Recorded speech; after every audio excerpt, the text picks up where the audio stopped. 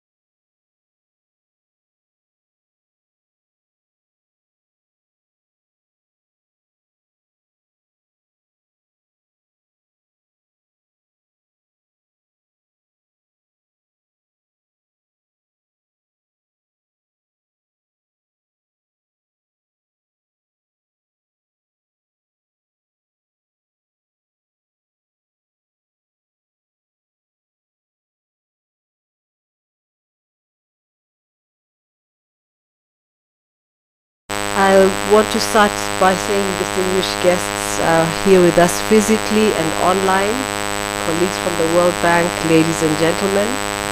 Um, as you may know by now, or many of you at least should have uh, been present in several of our previous updates, these World Bank Group economic updates are released twice annually to provide an overview of recent economic developments, an economic forecast for the medium term, and also to address a topical issue that's pertinent to the development of uh, Uganda. The aim of these updates is to inform policymakers, stakeholders, and the public, and stimulate de-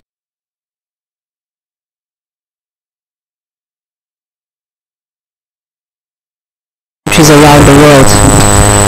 This particular edition of the economic update comes during a time of numerous shocks, emanating largely from the COVID pandemic, but now including rising commodity prices and logistic costs, thus threatening the pace of recovery from the COVID-19 pandemic. In fact, uh, today's rates of GDP growth for 20, what we call fiscal year 2023, so that's from June um, uh, 2021 to 2022, June 2022, and also fiscal year 2024, which begins uh, July 1st and uh, goes until um, uh, June 2023. Uh, the GDP growth rates for these periods are almost half a percentage point lower than where the economy was envisaged to be six months ago when we released the 18th economic update. Government has embarked on a fiscal consolidation drive to rein in debt and create more space for responding to shocks. So this special theme of the 19th economic update is therefore how to deepen reforms in public investment management to support the government's fiscal consolidation agenda. For the past 10 years, the government has increasingly prioritized capital development as one of the tools for facilitating and stimulating economic development in line with the National Development Plan and also Vision 2040. The overarching goal of this strategy is to address the binding constraints on economic growth in the country, and in particular, the significant infrastructure deficit that the country faces. It is difficult to envisage how these investments would enable realization of the intended objective if projects are not managed efficiently and effectively. According to the 2015 IMF estimates, a country performing at an average level uh, obtains 30% less output in terms of physical infrastructure for a given expenditure than a higher performing country. Up to two-thirds of this efficiency gap could be clawed back through improved public investment management. And especially the efficiency of these institutions, so closing that efficiency gap in capacity of the institutions. So cognizant of the benefits of this uh, need to close the efficiency gap, Uganda has already embarked on a series of reforms to strengthen its public investment management. These reforms over the past five years focused on improving the quality of projects at entry. Hence, a dedicated department in Ministry of Finance, Planning and Economic Development was established in 2015 to spearhead the PIM reforms, Public Investment Management is what we call PIM, and in particular to develop and promote the use of standardized guidelines and user manuals for project preparation and appraisal.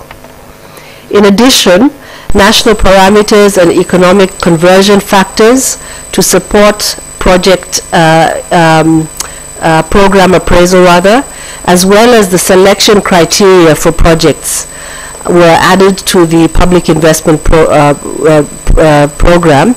In other words, the selection, selection criteria for projects that are added to the public investment program. These have been developed, both the conversion factors and the selection criteria have been developed to ensure that the same approach and processes are applied across government agencies when preparing programs and projects. The impact of these reforms is already visible in the improved quality of projects submitted by ministries, departments and agencies to the Development Committee at the Ministry of Finance, Planning and Economic Development. The independent reviewer and the gatekeeper for approval and admission into the PIP. So this role as uh, independent reviewer and gatekeeper that MOFPED plays is, uh, has significantly improved and in effect the percentage of projects that are underpinned by a cost-benefit analysis out of the total entering the PIP while still low has improved from 10% uh, in 2015 to 37% in fiscal year 2021 as reported by the Ministry of Finance, Planning and Economic Development. So while the impacts of some of these reforms may be realized in the future, in the future, they signal, signal that investments are, will, uh, are and will increasingly be better managed. Nonetheless, the progress around the administrative processes is being discounted by challenges in critical areas, including project prioritization and selection, budgeting, and implementation. Therefore, there are still numerous cases of low execution rates on development partner and own budget projects. Lengthy approval processes, lengthy implementation delays, cost and time overruns on projects, and high commitment fees in, case, uh, uh, in cases of some of the externally funded projects, especially those financed through commercial uh, or non-concessional loans a shortened lifespan of these project investments due to poor operation and uh, maintenance of these uh, assets and low capacity of some of the MDAs and continued non-compliance of many projects to the guidelines. So still a raft of uh, uh areas for improvement. For example, according to the Auditor General's report in fiscal year 21, out of a sample of 371 projects in the public investment program, 245 projects, which is about 66%, with project values of uh, 643 trillion Uganda shillings or 173 billion US dollars, did not have feasibility studies undertaken before they were allocated financing. These persistent challenges underscore the complexity of reforming public investment management frameworks, given the many institutions, processes, and mandates that must work together to form a system that is able to manage investments efficiently. For further gains, reforms need to be deepened around project prioritization and selection, budgeting, and implementation, so that we can go beyond the administrative processes of the pre-investment phase of PIM. First, the gatekeeping function can be strengthened by introducing a legally binding seal of quality at the end of the appraisal stage to signify readiness of project proposals for financing. Second, budgeting for projects must improve. The allocation of resources for projects must use the project life cycle approach and provide adequate resources for project preparation and close the gaps in budgeting for operation and maintenance costs in order to protect the assets that have been put in place. To promote the culture of investment maintenance, each project must have at its appraisal the ex ante appraisal forecasts of both the project's capital expenditure and operational expenditure. And finally, Uganda must improve the implementation phase by building project implementation capacities, while at the same time strengthening and streamlining the monitoring and evaluation functions of the PIM system. So implementation is critical to get the projects uh, on the ground, uh, on time, and of a quality that can sustain over time. Let me end here by thanking you again for coming to this 19th edition of the Uganda Economic Update. The tool, the update, will be a useful input and stimulate productive debate about the country's development and therefore we look forward to a fruitful and mind-tickling discussion today. And so I uh, hand over to the um, facilitator and thank you once again for coming to join us here in this room and online for this uh, debate today. Thank you. Uh, thank you, um, Mukami. That was uh, Mukami Kariuki, um, the country manager, World Bank, Uganda. Uh, my name is Bernard Tabaire, and uh, I'd like to welcome you to this launch. Um, next to take us through this morning is Solomon Serwanja, uh, who I think most of us in the room know, but um, because of his work at NBS TV, at NTV. But he's now the executive director of the Africa Institute for Investigative Journalism. Uh, over to you, Solomon. Thank you, Bernard. We're super excited to be here, and uh, thank you very much, uh, Madam Kami, for such um, mind-tickling um, opening remarks. Interesting to hear the Auditor General's report there highlighting about projects worth 643 trillion. Did not have feasibility studies and yet they were funded. Interesting. All right welcome once again to the nine to the launch of the 19th uganda economic update without any further ado i want to invite uh, ms rachel Sebudde, the senior economist at the world bank um, to give us her presentation on the state of uganda's economy um, I must say that Rachel is not in perfect health. Um, so um, we will watch her presentation online. Um, and may I ask the people in the back end to please put it up.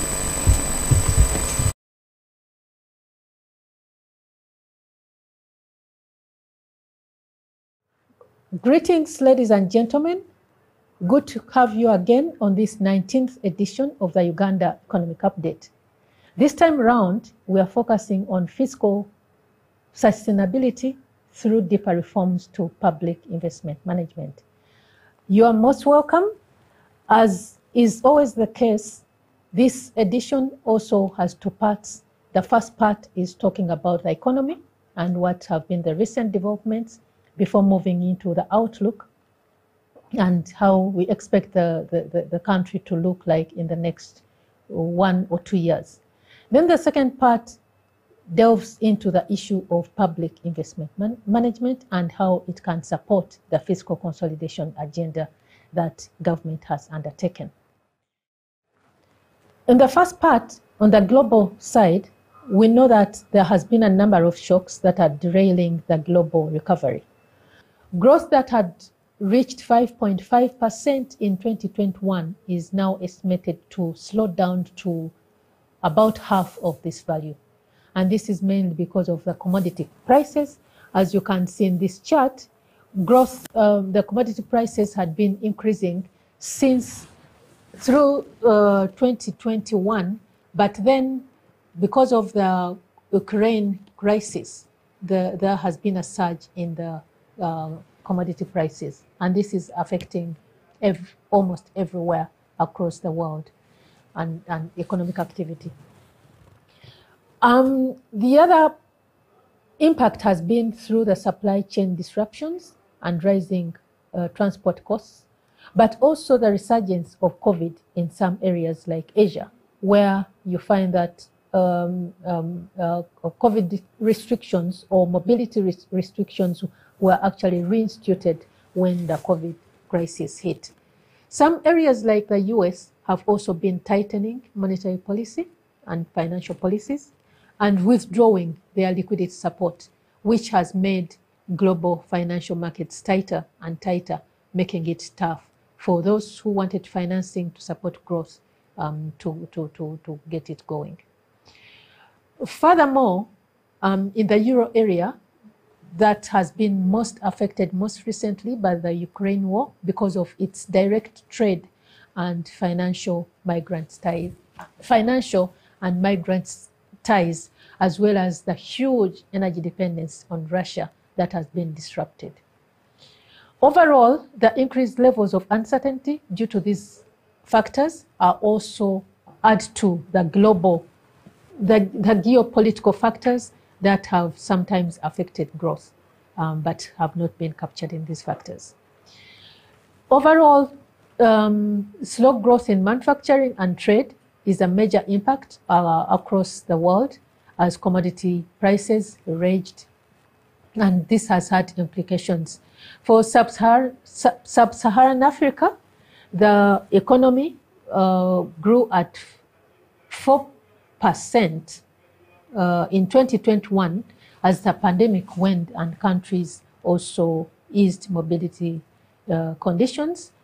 But the recovery is expected to be much slower than the rest of the world. This is mainly because of the fiscal tightening and also withdrawal of these support mechanisms that had helped economies start to recover. The risks abound. Um, COVID 19, given the low levels of vaccination, Ukraine war, and uh, sanctions that are affecting um, financial markets, especially, and trade. Coming back to how this is affecting Uganda, I wanted to talk about a little bit on the external developments.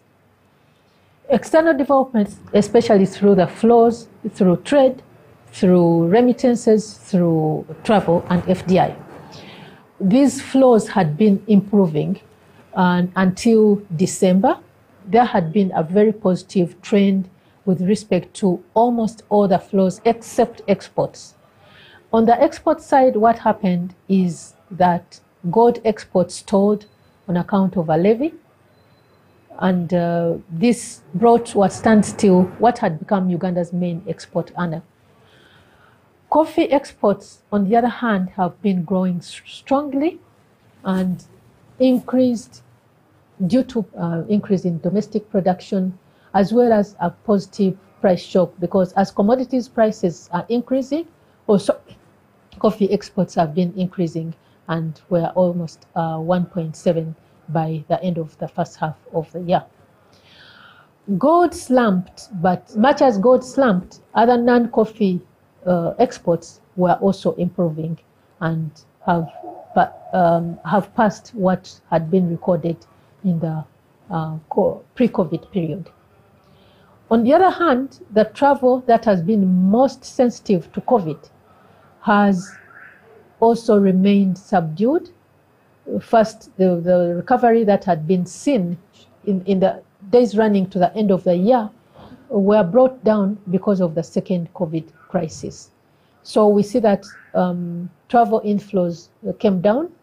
We don't have the numbers for the second half of the year, but the expectation is that the COVID uh, resurgence in some areas in Asia, as well as the Ukraine crisis, could have also created further uncertainties about travel and brought these flows further down. On the domestic side, we start with the monetary and uh, fiscal poli- uh, and, and financial policies that have been very supportive to, to growth um, until recently. Monetary policy remained supportive um, because it kept the interest rates low at 6.5% until it tightened it to 7.5 in June. In spite of that, private sector credit did not uh, grew at only 4.9% over the nine months to FY22. The CBR raised to 7.5 in June, and uh, the, the liquidity support is also expiring. So those also uh, those developments raise um, uh, risks about credit and how it's going to move uh, going forward. Credit recovery was strong for manufacturing but slowed down for trade and business sector. But on the positive side is the fact that actually government has borrowed less from the banking system. So that can help hopefully support a recovery of the credit. But on the other hand, banks are more risk averse. For example, they approved only 56% of, of, of, of the loan applications that were received in the second quarter of this financial year compared to 70% that had been approved in the previous periods. So that shows how risk averse the banks have remained in this period and which where they are much needed to support the private sector to recover. On the side of the fiscal policy, government has embarked on a fiscal consolidation. Um, this could have been realized through revenue, but revenues have actually not performed as was expected.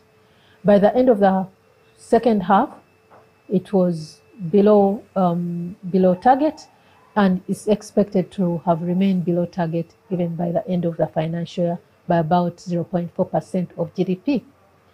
On the expenditure side, expenditures declined due to some planned cuts, but also the under execution of the capital projects. So this is not good for growth because it means that what would have supported the private sector investments that are quite low in recovering is also the buffer is not there uh, through the public sector. Domestic arrears were paid up to 60% and they increased by up to 60%, which is a positive development but the supplementary budgets have also remained an, an, an, a feature of the budget even during this financial year, could have raised to about 8.5% of the budget. The deficit is expected to have reduced to 7.5 of GDP, with a reduction in domestic financing, which is also positive for the private sector. Debt is estimated to have reached 52.9 which is some 0.9, almost a percentage point higher than what is uh, envisaged in the Charter of Fiscal Responsibility. What has this meant to the economy, to growth um, uh, at, at the end of the day? We see that, like was the case elsewhere, Uganda recovered strongly in the first half of the financial year 2020, 2021 with growth reaching 7.9% of GDP. But this was before the second lockdown because, um, again, the economy was brought to its knees and uh, growth actually slowed down before starting to recover in the second uh, quarter of the year. Overall, this half of this financial year grew at 4.3%, which is much less than 7.9 that was realized in the previous financial year. Uganda's recovery has been moderately supported by the private sector investments, um, but at least they've been uh, stayed positive since the opening of the economy. We see that the PMI, both the PMI and also the Bank of Uganda indicators, um, suggest a very positive development over the first half of the year, with the PMI remaining above 50%. That means there was um, a growth for almost eight consecutive months. However, uncertainties related to Omicron, uh, disruptions in the in the supply chains in key supply regions like China, and the tightening of the financial markets are expected to have disrupted the recovery into the second half of the year. So, for that matter, we expect that growth would have reached around 3.7% of GDP for the financial year, um, which is much lower than what had been anticipated. Households remain vulnerable to poverty in spite of the very uh, limited social protection systems in the country. For every shock that has hit the country, we see that there was always either a fall in employment or reduction in incomes for the households. One of the examples, the, the surveys that were taken between April and November 2021, between the two lockdown periods, uh, just before the second lockdown. And this, we see that there was a fall in employment of almost 11 percentage points. In addition, 50% of the households reported that their food insecurity had increased. And with weather conditions are actually adding insult to injury in this period. The recent rising food or the rising food and fuel prices are likely to have even more effects on, on households as they go through um, managing an increased cost of living, um, especially for those living in the urban areas. It is therefore important um, to develop the social protection systems, as we can see, they're quite limited, as is shown on the right-hand side of, of, of, of the slide, that shows the evolution of access to social protection through the different um, shock periods um, or the survey periods. It shows that the, in the last one, there was only 13% uh, access by households to any form of social protection. In terms of the outlook, we expect a recovery to continue, but to remain very fragile. Real GDP is expected to increase to 5.1% in financial year FY23, and this will be driven by some pickup in private consumption, much as this is going to be um, uh, discounted by the rising cost of living, the, by the rising prices.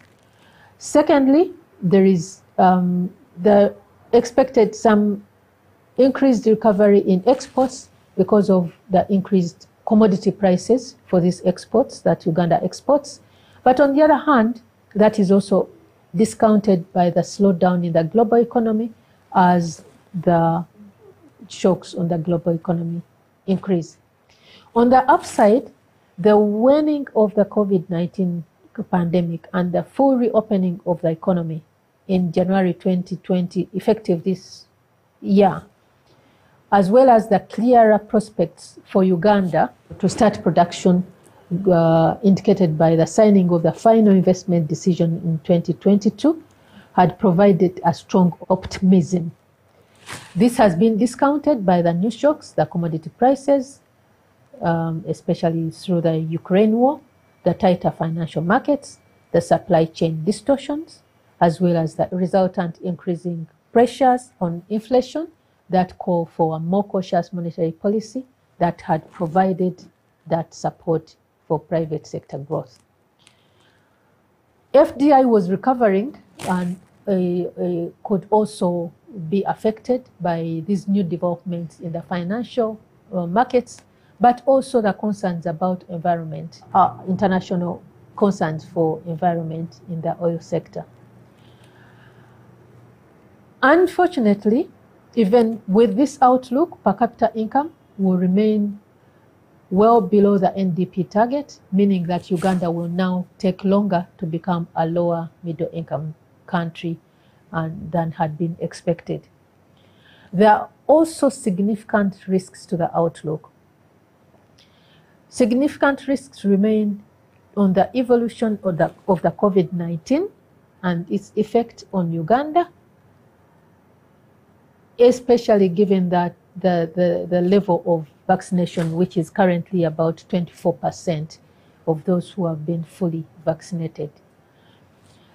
Secondly, there are weather shocks that are also uh, likely to impact, especially agriculture, which is a backbone of the country.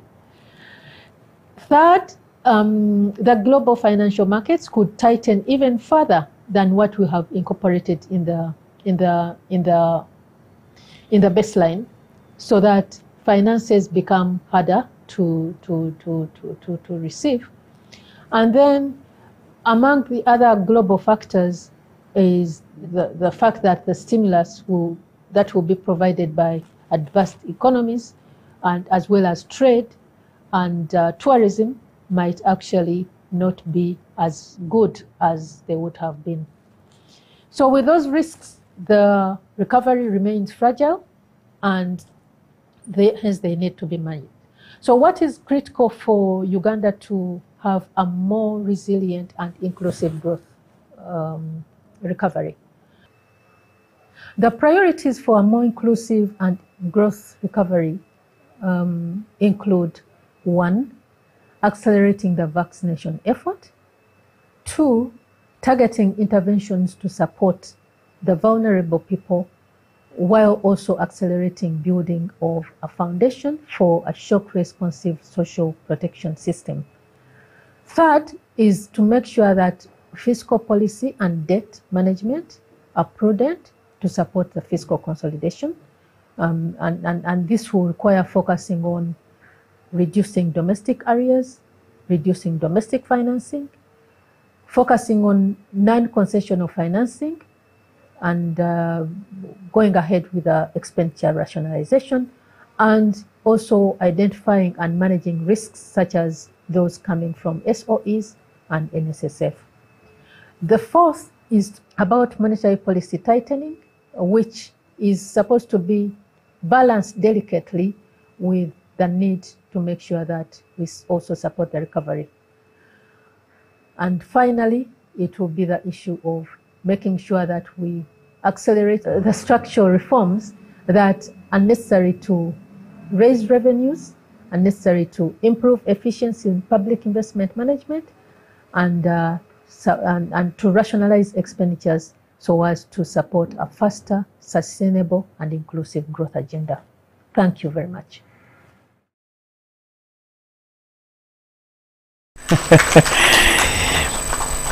Um, Rachel, thank you very much. Rachel is a senior economist with the World Bank, and she was the team leader on that. Rachel, thank you for giving us a holistic view of how we are doing. And um, interesting statistics that came up, and I thought that we could take a deep dive into um, Rachel's presentation with uh, Professor Waswa Balunywa, who is the principal at the Makerere University Business School. Thank you very much for joining us, Prof. Well, let's start off with, I mean, we, we, there are no questions because we are really struggling. And it's not only Uganda, it's globally. I was looking, I was watching um, a, television show last night where Christine Lagarde, who is the president of the European Central Bank, and she was saying um, they're not even about to reduce inflation, not even any time now.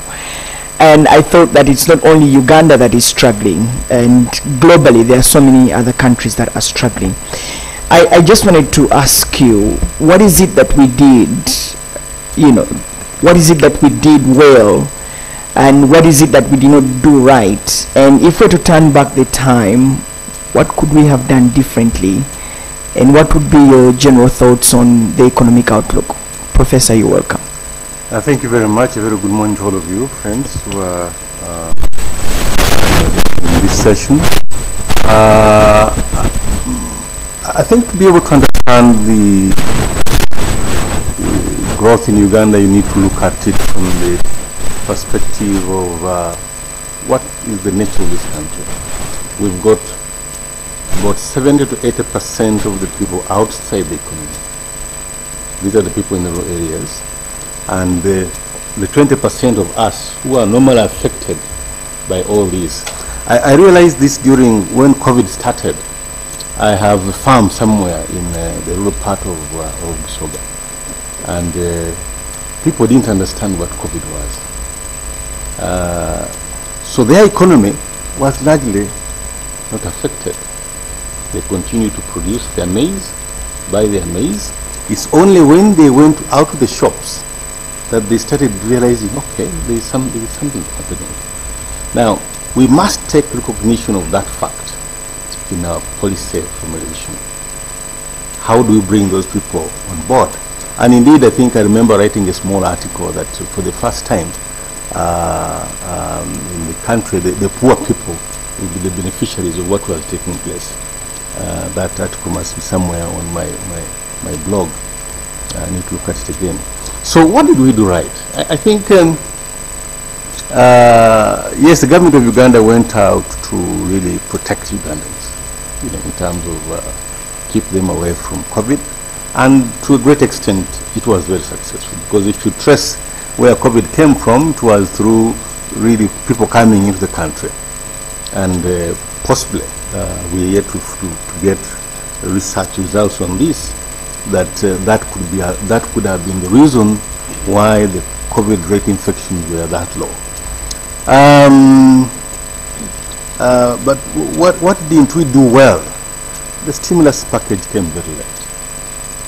I think if you go into, uh, and it, it, it, went to the wrong places. You know, uh, government came and said, we are going to put money in UDB. How many projects does UDB handle annually? UDB is a long-term finance institution. It definitely cannot handle small business. I think subsequently the Minister for Investments came up and said, no, no, no, we're going to change this and uh, but uh, up to now, if you make an assessment of the stimulus package, uh, definitely you see that it didn't work. Uh, the largest affected people were the ordinary people in the markets. They came back to town because they, had, they could not stay at home. You know, th these were real things that uh, people came back to, to, to, town because they had nothing to eat. They came back to do, to, to, to, to to, to, to sell something small. So to me, uh, the, the, government should have uh, a year into COVID started a stimulus package which should have uh, uh gone to the right areas of production, production, and uh, uh, it used the wrong vehicle because it used UDB I know that there's some money in the microfinance center. Uh, well, no, not much really came up in that respect. Two, there was no support for, for that 80% of people in terms of understanding the technological developments in the country. So uh, I should say the, the, the, the, stimulus package was deceptive. Uh, Yes, for the medium enterprises and large enterprises, they're doing very well, thank you. You know, I have a factory in my village in Iganga. They brought people in, they're still rolling factory. And they stayed in and they worked. And I'm sure it's, it's made progress, like many others that did. And uh, those who, if they wanted money, they get it easily, because the there's money in, in, the, in the banks. So I think government uh, besides not taking care of that 80%, not, not, not, not finding a way in which to impact that 80% uh, of the population uh, in the stimulus. Because if you did that and increase production, you would see different figures in the economy. Now, PDM, the parish development model. This is where government now is, is, is approaching the 80% but the statistics tell us that uh, only 30% of Ugandans are entrepreneurs. This, is a global thing. Uganda is highly entrepreneurial, you know, you know this. But only 30%. Now we are putting money into parishes, an equal amount of money. To do what? What is supposed to do?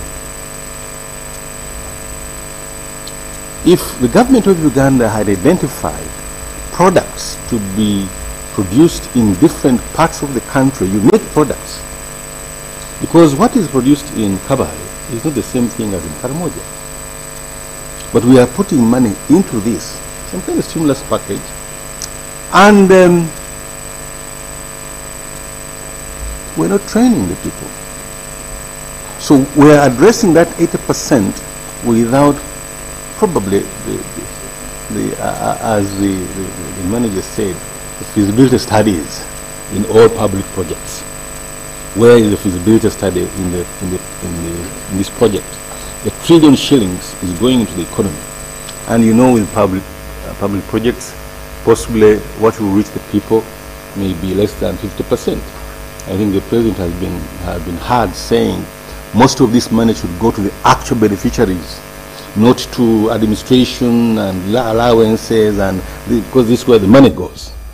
So the, the, the, the stimulus I am seeing is in terms of the parish development model, but uh, we, I wish we were targeting that 30% of the people who can start business. Uh, so they, not, they must be identified. And I wish too that, to, to me, all we needed to do was give, ensure that what is produced has a higher price. In the 1980s, I remember part of the coffee study that we did uh, when the president, I was part of the committee that told him we should dismantle coffee marketing board. And he was worried. And at that time, Bank of Uganda was paying farmers. You may not know this. Bank of Uganda would go to the villages to pay farmers, and it was not acceptable. How can the central bank go to pay coffee farmers? So he told him, look, all you need to do is give that coffee farmer a higher price and he'll produce, he'll respond. And indeed, it, it worked. The coffee production went up. Look at what has been happening to the cotton production in northern Uganda. The price has gone down and they've stopped producing. So what you need to do is, to me, give the farmer a higher price. Train the farmer further more into what he or she is producing and uh, guarantee them a higher price. You're going to see production in this country. Because what we need is production to be able to have that big 80% people included, gradually included into the economy. Yeah, interesting. As, as long as you provide the market, I think the market component is very, very, very um, strong in there. What I also pick from what you've just submitted is that focus was not put to the small and medium enterprises, but rather um, to the big manufacturers. And I remember that government put a lot of money in the Uganda Development Bank, whilst money was also put in the Uganda Development Corporation and uh, the Uganda Microfinance Support Center. All right, um, the hashtag for today's conversation is UG Economic Update um, on Twitter. So if you're putting out any tweet, please add that hashtag. Professor, let's talk about the private sector credit. This report has significantly mentioned that it was very it was not very supportive to the economic recovery largely because of what the report entails um, you know government borrowed heavily from the domestic markets but also uh, the CBR that has now risen to about 7.5 and not to mention um, the Bank of Uganda credit relief measures which are expiring very soon. What is the likely Im impact or implication to this? Uh, uh, COVID-19 led to layoffs and closures, and definitely the private sector was uh, cautious uh, on what, what do I need to do. So even private sector credit had to be cautious. I mean, why do you give money to people who are not, not operating at high levels?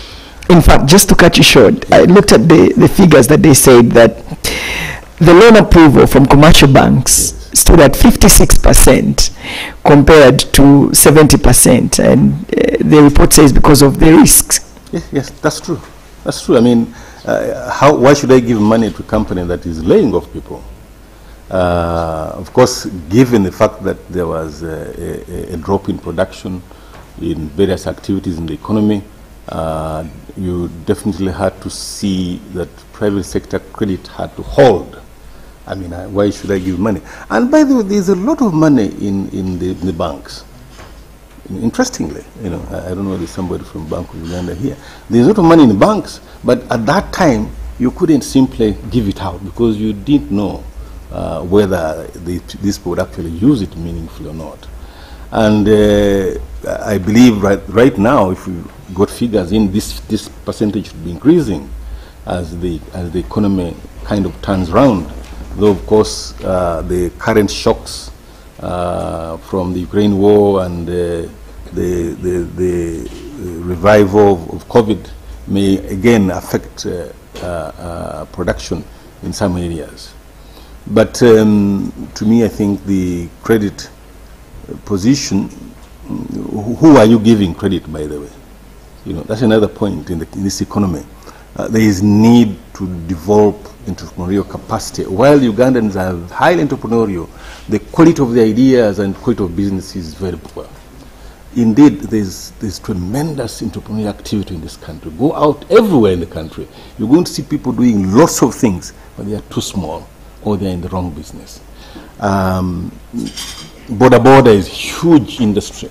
Unfortunately, it's not good for the economy. It's too expensive, you know. So, but but it's there. It's giving an income to a million people, giving giving livelihood to a million people. But it's the wrong business. You know? Why do you say it's a wrong business, Prof? uh, what would it be? What does it take you in a bus to come from Nakawa to Kampala? What would it take you? How much would, it, would you pay? Ordinarily in a bus. Let's say in a 14 seater. I think from Nakawa to Kampala, maybe 1,000. 1,000. And mm. how much on, on, a boda boda? About about 2,000. 2,000 or yeah. three. Yeah. It's high cost. If you're really doing good business, boda boda is high cost except for deliveries of uh, things which where you've costed it. So what you need in this country is, uh, let me use the word public transport cautiously, because public transport may mean government-owned buses. No, not necessarily. If you improve that Kayora, it brings in people, they wait because they can't afford the boda boda.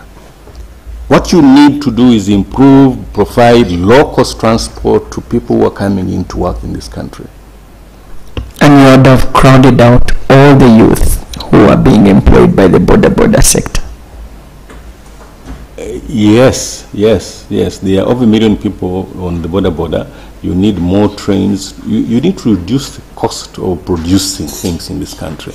And the boda boda definitely is very expensive. I, I know many people get livelihoods out of it, but uh, uh, it means we're not planning well. and look at it you and me should see three, five years later on, where does the boda boda go? I'm sure you are familiar with uh, Kiira Motors and their plans for hoping that one day they'll have this public transport approved. That will not happen either. Uh, uh, because of mistakes that we're making in the economy. We are failing to provide for roads as a country. We are failing to regulate uh, the, the, the, the, the land allocation system, especially in urban areas. So we, we, we, are, we are creating a very expensive economy. So the boda boda people, uh, you know, in business, there should be somebody to provide a service or a good, hmm? whatever it is, a good or service. It will always be provided by somebody who is low cost producer. That's my belief in uh, free markets. All right. Yes. Thanks. Thank you, Professor. Um, if you just um, cast the spotlight into the future, how does Uganda's economy look like? What are the potential risks and what can we do better to help this economy recover fully? Well, Uganda is likely to be a huge slum.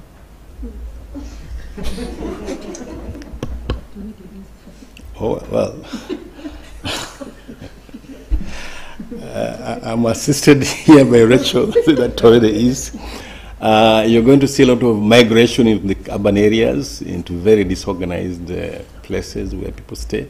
We, this must be addressed. If we don't address it, that's where we are going.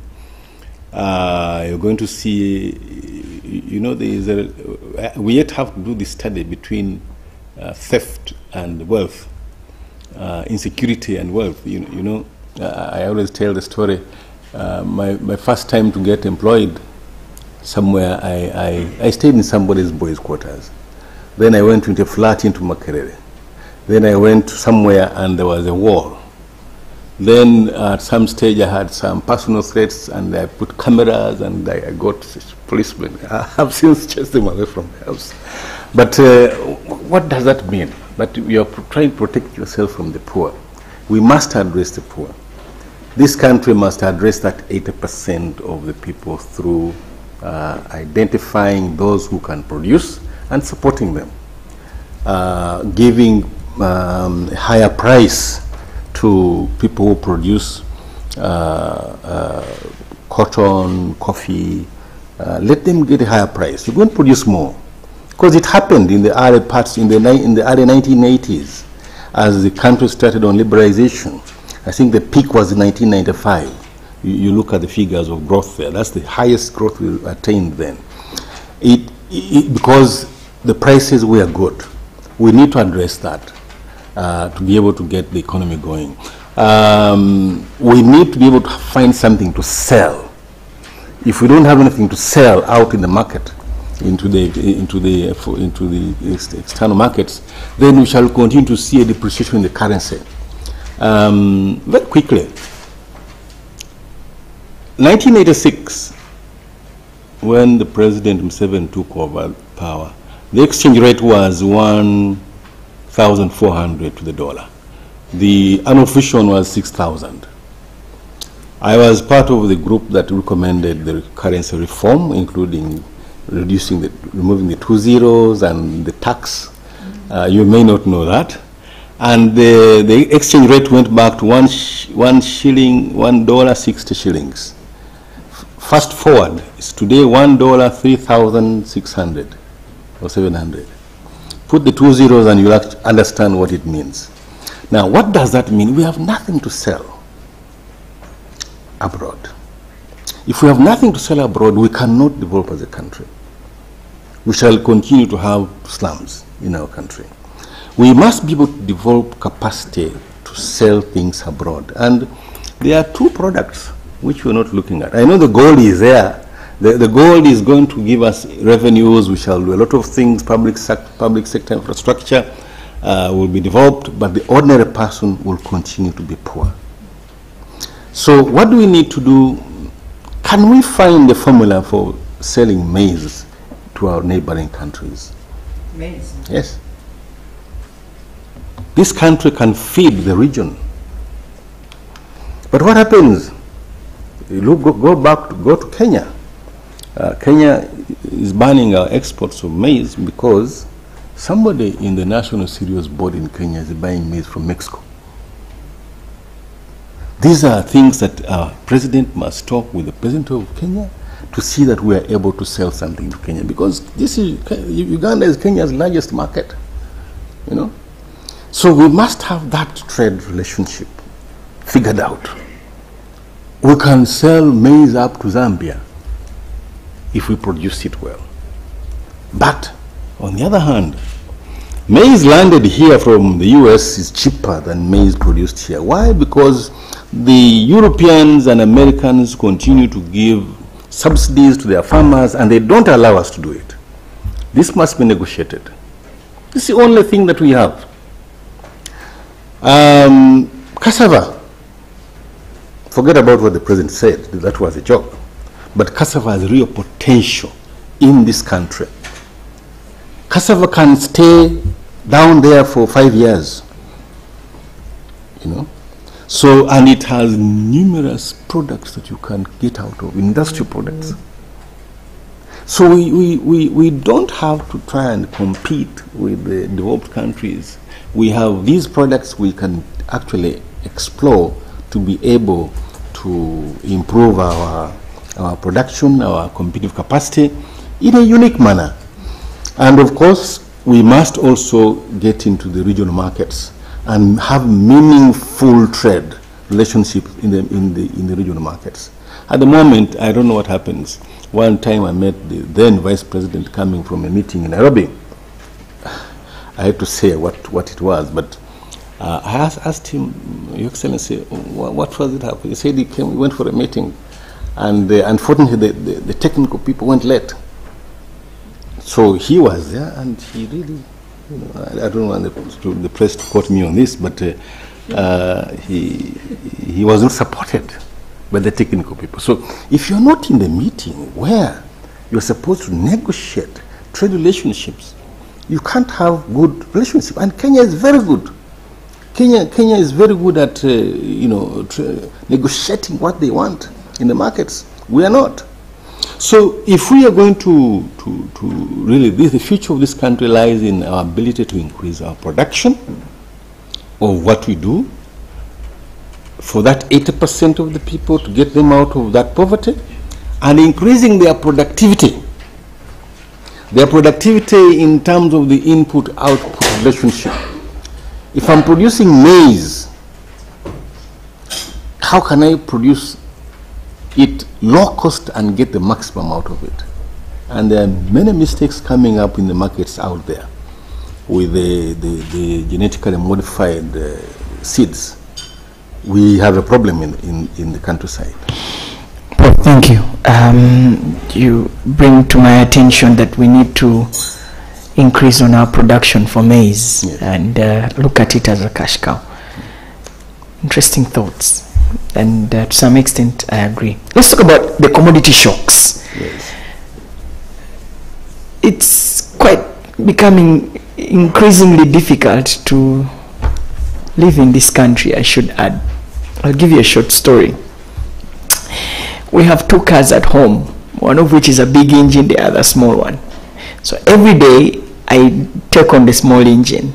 The last two weeks, my wife has always been running to the small engine.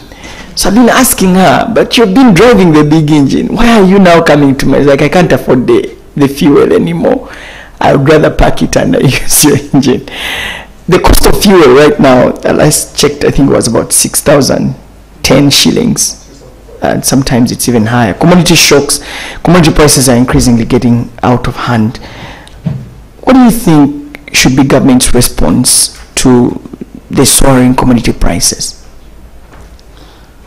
I, think one is to curb uh, the unauthorized export of oil, petroleum, the smuggling. Because the prices, the, the, the price rises, uh, part of them are genuine, part of them are artificial, arising from smuggling. Uh, I'm not a government top government officer, but I've met businessmen, leading businessmen in this country, who have said the problem with the fuel is smuggling. Have we? I, I don't know, but um, I know that smuggling can cause price rises in a country. So uh, our borders safe uh, on Congolese border and uh, and Sudanese border, are they safe?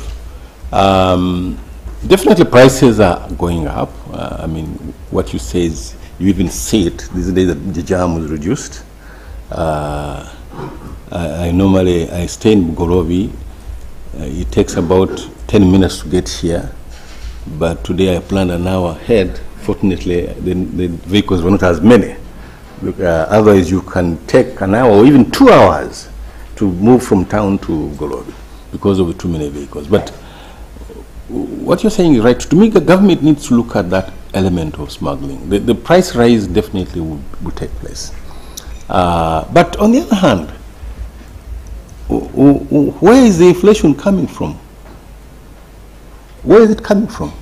For, for the price, the, the, the fuel inflation, where is it coming from? It's coming from Europe, not so. Europe doesn't produce oil. Have you thought about that? Is China having a, f- fuel inflation? I don't think so. You know, um, well, we are part of a global system. We are locked in. Uh, we can't get out. So the fuel prices increase. Uh, definitely, if if the the world the geopolitics changes, we shouldn't see this. Uh, I believe that Asia not, does not have high fuel prices because they are buying the fuel from the Middle East and from Russia. It is Europe that is having a problem in North America. So we have got export of fuel prices increases from Europe. Uh, can we avoid that? I don't know. That's for government to decide. The other one is in commodities. What is the other commodity whose price is going up? Uganda's food is largely grown in this country. So we should not have, uh, and you know, our inflation always comes from food, food scarcity. Whenever we have uh, a, a, a, drought or we don't produce enough, we normally have inflation going up. And, and, and I know the central bank has dealt very well with that. Uh, so going back to my proposal, we must sustain increased production in what we in what we produce. Right. Uh, so we, if you look at it closely, why should our food, why should we have increase in food prices? It's because transport is increasing. Otherwise, on its own, our prices should not have gone up. You know? So. Um, uh, commodity prices, well, uh, that's a, it's, it's, a headache for the, for the policymakers, but I, I, think it's definite if you see where the source of the inflation is coming from, is something you can deal with. Right. But now, unfortunately, we are living in the central bank to, to handle, and you know, they, they must find a way of solving this problem. Thank you. Thank you very much, Professor Wasswa A round of applause to him. Professor Wasswa is the principal at the Makerere University Business School. Thank you so much for breaking this for uh, breaking this down for us. All right. Um, without any further ado, I would love us to invite Rachel once again. Rachel has another presentation on the fiscal sustainability through deeper reforms to the public investment management. So I would love the back team to please uh, put up Rachel's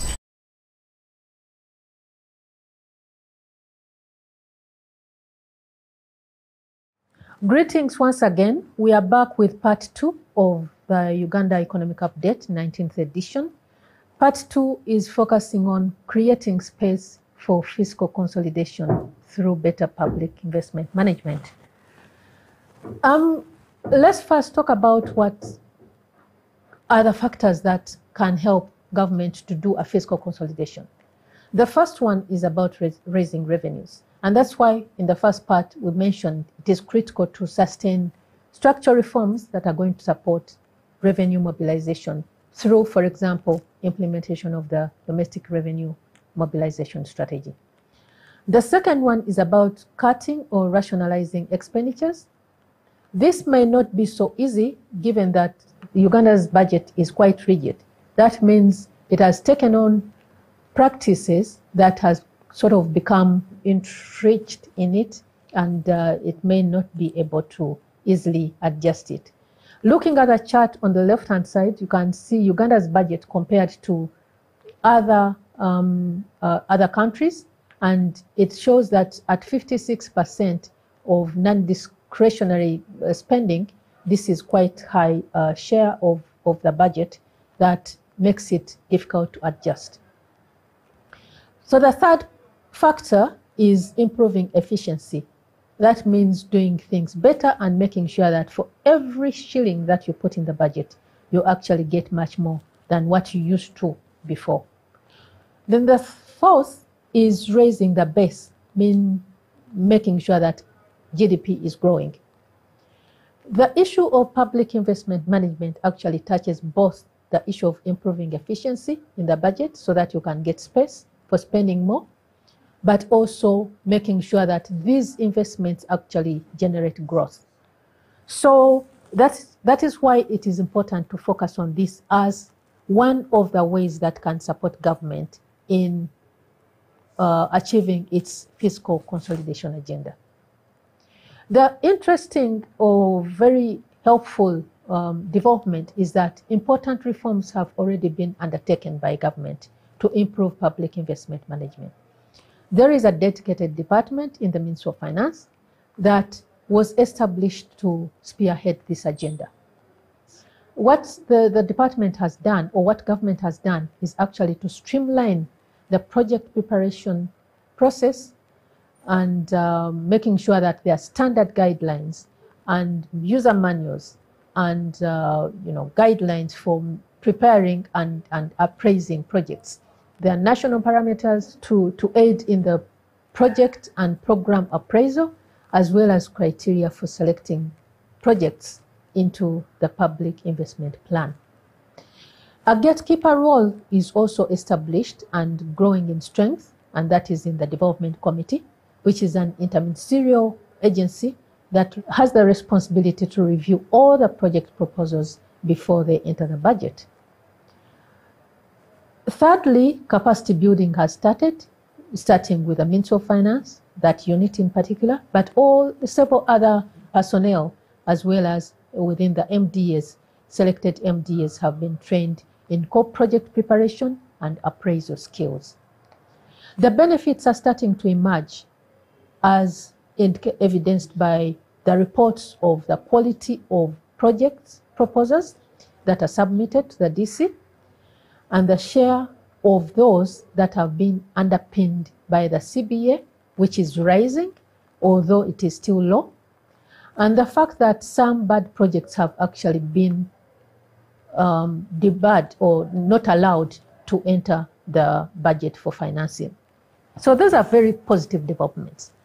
On the other hand, much as there has been this progress, a number of challenges remain. And you hear every now and then when we're talking about the budget, it's about, you know, the under execution, the the bulk of the projects, um, um, you know, low execution rates, especially for externally funded projects, the cost and time overruns, the high commitment fees for externally funded projects, the shortened life of of assets because they are not well maintained, and the fact that probably the bulk of the projects are still not following the guidelines.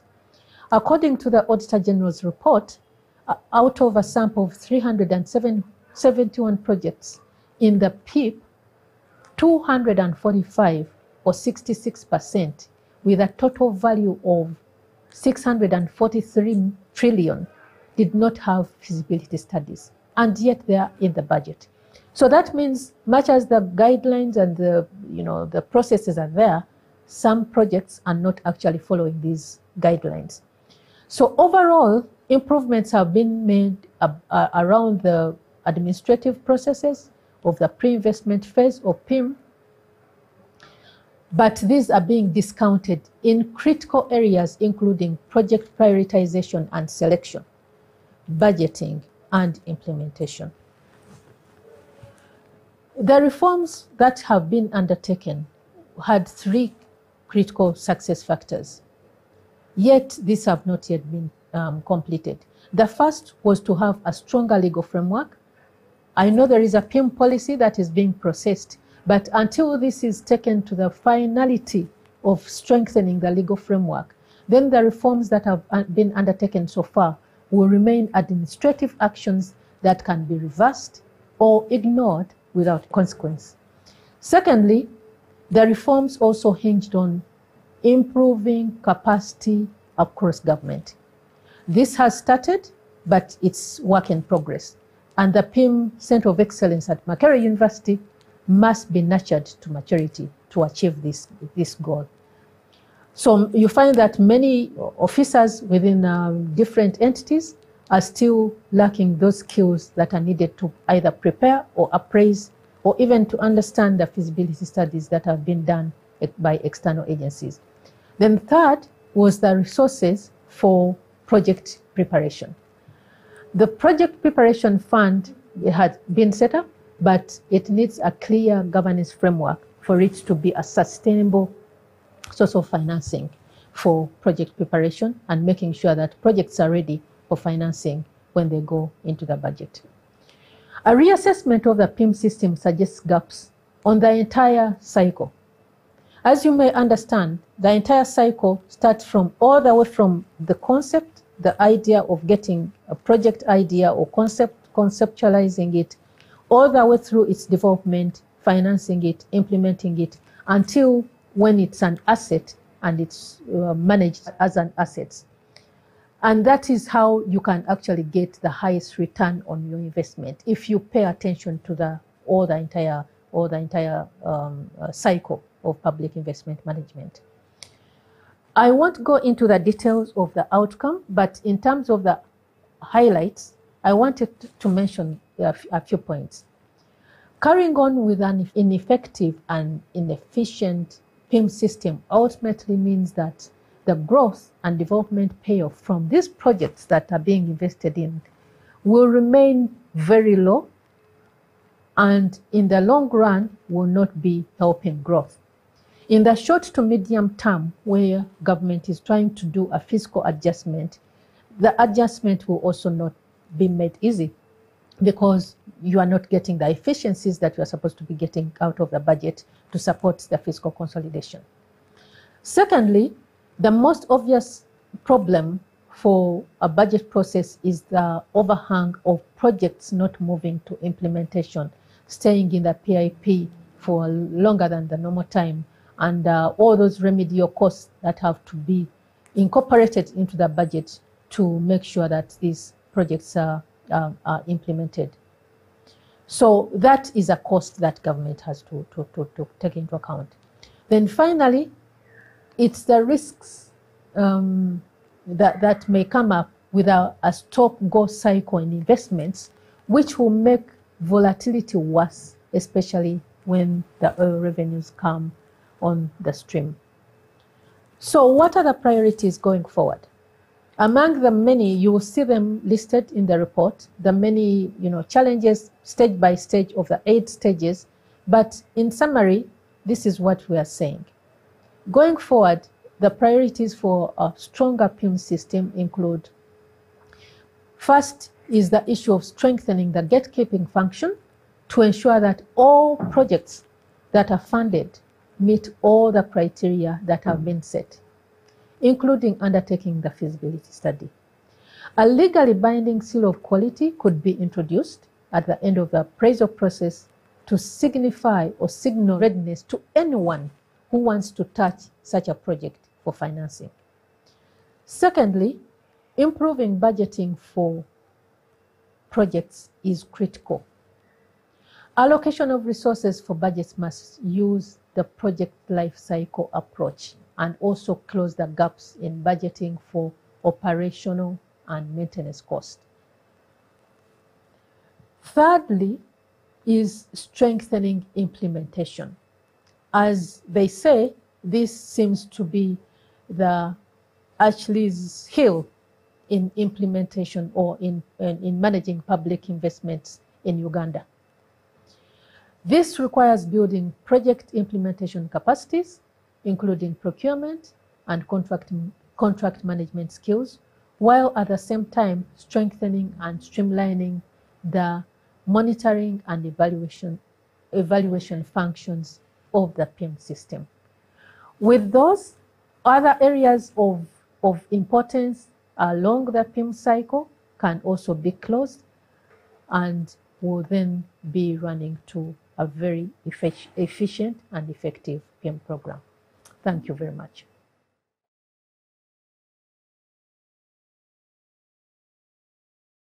Rachel, again, you're receiving all these applauses, but we've not had you here. But we will get an opportunity to bring you in.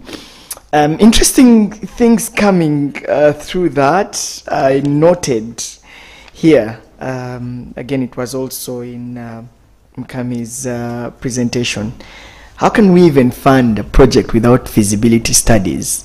Interesting. But let's bring in Margaret Kakande, who is the head of budget monitoring unit at the Ministry of Finance, Planning and Economic Development. Clearly, public investments management and the need to reform it is very important, and I'm sure you agree. I've had very um, interesting uh, remarks um, in Rachel's presentation there that there's now a fully fledged department at the Ministry of, of, of Finance. I think it's headed by Hannington Ashaba.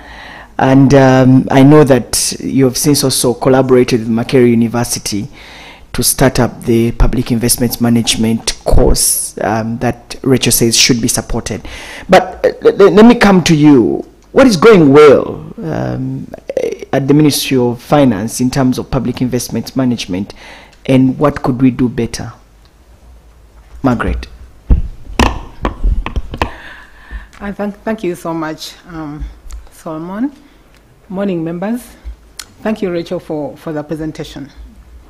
Uh, in terms of um, the PIMS and what is going right, I think Rachel did mention the fact that um, we've had some reforms in terms of having a department.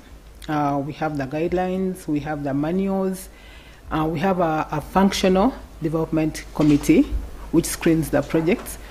That is good because actually that is the foundation in terms of uh, having a good starting point in terms of uh, ensuring that uh, people can actually look at their projects before they get into the public investment plan, which is the PIP, uh, instead of having projects in, in, the, in the plan without all what has been shocking you, Solomon, without feasibility studies.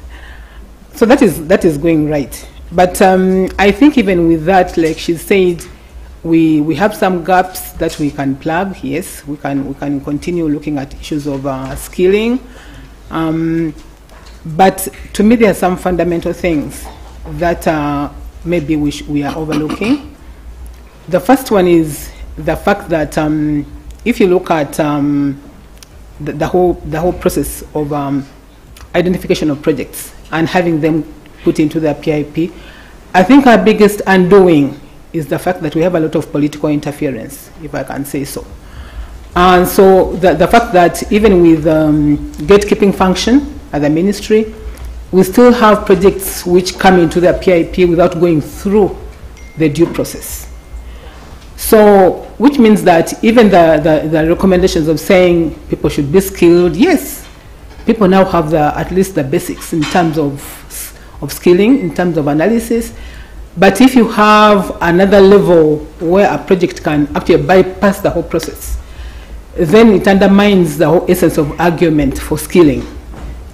So you don't have to say people should be skilled in terms of uh, looking at projects because they are going to come in anyway without going through the process. So we have that, that, that problem.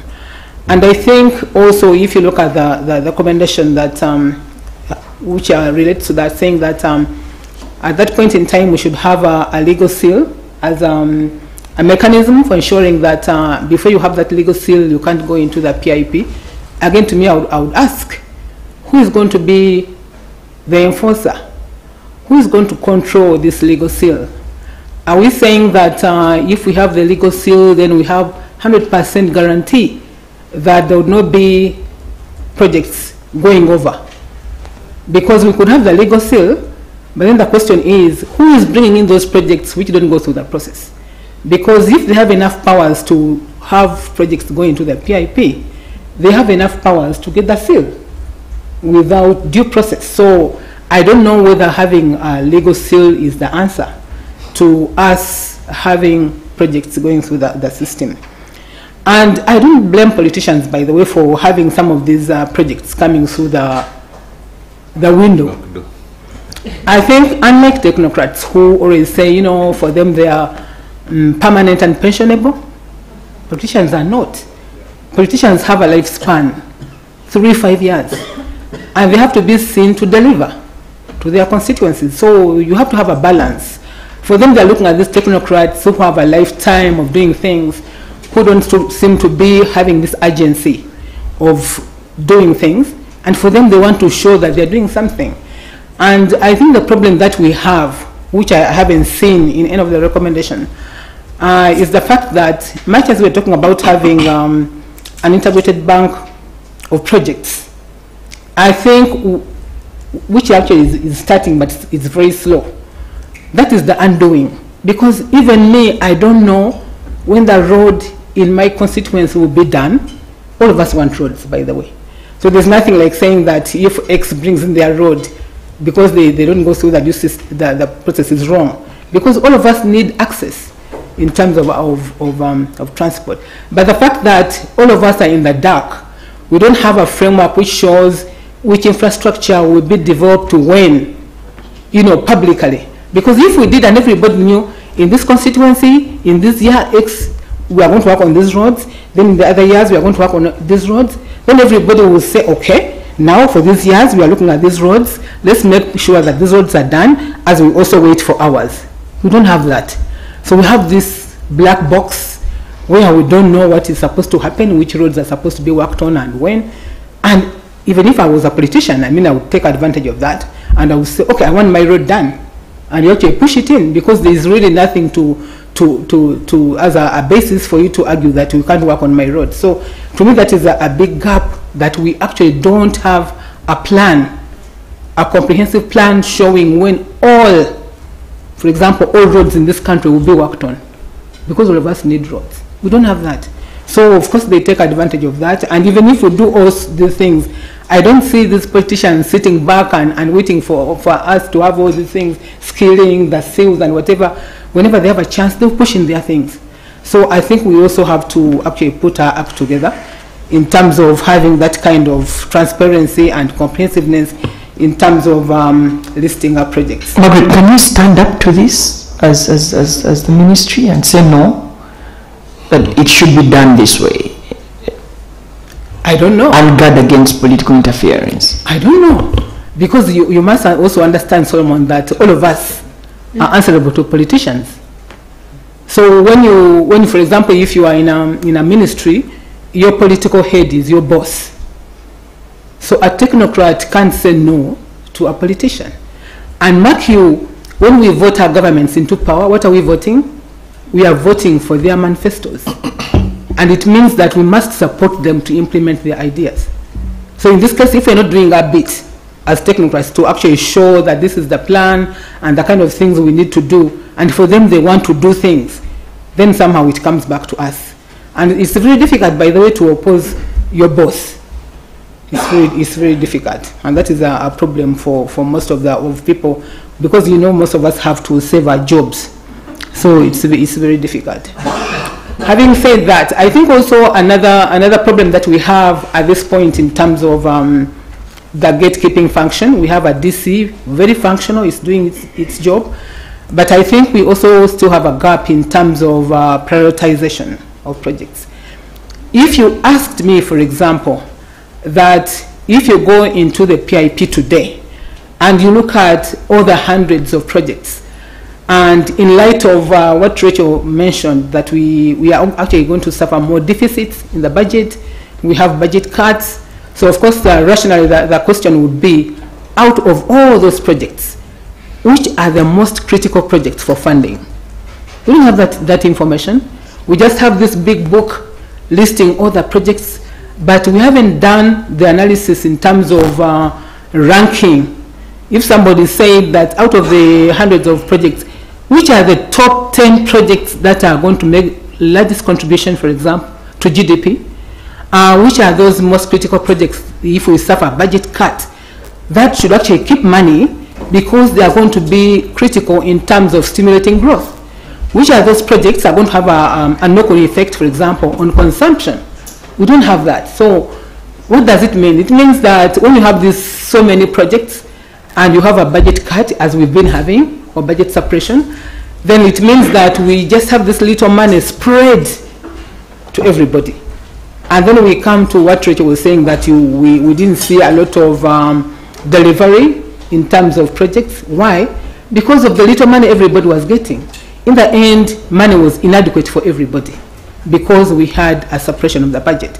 But if we had had a mechanism of actually knowing that at least let's suppress everybody else, even if they get zero, and say that out of all this, let's just focus on these 15 these are going to be critical in terms of rebouncing or regenerating growth because they have these effects on, on consumption, they are going to generate income or, or employment and so on.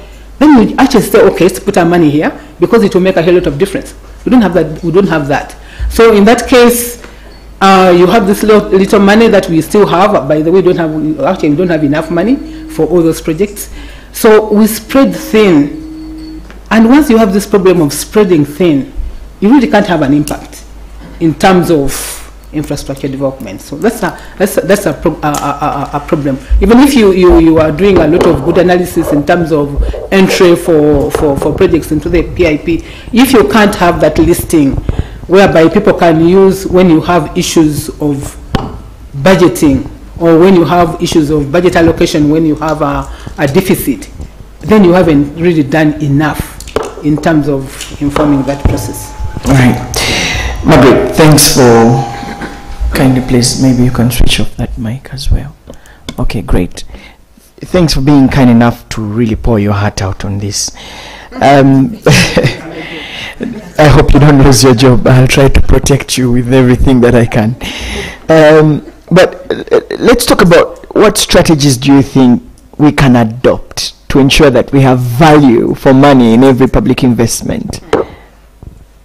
There's something I haven't, um, now that you talk about value for money, something that, uh, two things which I haven't actually talked about uh, in my presentation, where where we, we have issues. The first one is um, we have corruption. This is a national problem. It's not a, a problem of government people. I think Uganda is a corrupt state. Honestly, people in the private sector are corrupt. People in civil, civil service organizations, I mean, it's, uh, NGOs are corrupt. People in government, are, so it's all of us. We have this problem. It has become a national issue. And if we don't deal with corruption, I can assure you we shall never have value for money for whatever we are doing. And I think that's why you have this PIP which is clogged with projects. Projects don't move out of the PIP. We have other projects extending the lifespan of the projects because you give money to a company, people eat half the money, and then you are left with half. So if you are left with half the money, how much can this company do in terms of giving you a, a, a, a good? Huh? And then it comes to the, the recommendation that um, Rachel is making that you see if you're budgeting for uh, infrastructure, for example, you should be holistic, you, you do it at for the whole life cycle, and you include um, operation and maintenance. That will, could be an, as well an academic exercise because I could look at a road and say, okay, Northern Bypass is going to be this, uh, this is going to be the O&M budget, but because of corruption, you find that we have a lot of poor quality infrastructure. That one we know. Now, when you have poor quality infrastructure, it's very difficult to budget properly for O&M. So, and I've been saying that um, people say, you see, you didn't budget for O&M for road, but if this is a new road, eh, you've put up a new road, when should I really meaningfully put a big budget for O&M for a new road? Should it be after one year? Really? Honestly? So you find that because of corruption, we are doing substandard work, and then we have to sit back now and cry for O&M. Because the road is poor quality, so after one year, the road deteriorates. How can a tarmac road of one year require a big budget for O&M? Honestly. So I think we have to deal with corruption. You and me. This is not a, a government issue. This is something all of us have to fight because I think all of us have lost it because people think that if you are a thief, you are the, the celeb. Yeah. If you're a thief, you are the celeb because I think we've become so materialistic and you have all these things people think you're really, you are, you are the guy to take, which is not a government thing only, it's the whole society. So we have to deal with this. Uh, if you look at uh, a neighbor, Tanzania, one thing this guy dealt with, why he had a transformation for five years, was corruption. And if you look at the proportion of his capital development in terms of GDP, it was actually far much lower than Uganda for the five years. And if you look at the transformation that they had in infra- infrastructure compared to what we have, it's laughable. And the only thing that was a big difference was because corruption was handled squarely in that country. That is your challenge. I'm leaving it to all of you. Handle corruption. Then two, in terms of infrastructure, something we, we, we are also dealing with, which we, we always have a lot of debates in terms of are we doing the right thing? How can we do it differently? The issue of unit costs. Honestly, this country, you, you get a road, and the cost of doing that road compared to some other roads which have the same situations is 10 times. How do you justify that? So one time actually we made so much noise you, to you people in the bank. We said, you people, we don't agree with the unit costs you are quoting for tarmac roads. And people are saying, ah, you see, because for me, I've never been convinced that a kilometer of a tarmac road costs a million dollars. Yeah, that is the cost. Three hundred thousand dollars. Then you say, oh, why is it so expensive? What is it that is in this tarmac road? So the, the, the, the, the unit costs, we've actually failed to come into grips and to agree among ourselves as to what are the unit costs that we must use. So I think donors, especially the bank, help us if we can actually get to grips and get the right unit costs on some of the things. Of course, it hinges somehow on corruption. Because we all know that people are inflating the unit costs of things. But if you have something which is legal and say the cost of this scientifically is this, then maybe we could contain any, we could minimize, you know, the, the room where people could actually blow up the, the, the, the costs. And I think for me, that problem of unit costs has actually made us not be able to do as much as we could do. We may not have a lot of money, but if we are actually honest to ourselves and just using the money we are supposed to use, would be far much better in terms of what we've achieved in terms of infrastructure. So unit costs, we must actually look at this issue of unit costs as we also look at issues of, of corruption. I was going to ask you the next is um, how should we implement these strategies? I think the bank has also been put on the spotlight um, to try to help Margaret's team to deal with the issue of unit costs. A round of applause to Margaret Kakande. Margaret Kakande is the head of budget monitoring unit at the Ministry of Finance, Planning and Economic Development. If you're tweeting, the hashtag is UG Economic Update, and um, it's your time to talk back. So if you have any questions, you may raise your hand. It's time for the media to ask a few questions. If you have any questions, you can raise your hand, introduce yourself, and get to ask my team questions. We're also happy to have Rachel. Rachel, I hope you you have picked up a little bit to answer to some of the questions that may be raised. All right. Any questions from the team? Okay. Um, do we have a mic? Okay, good.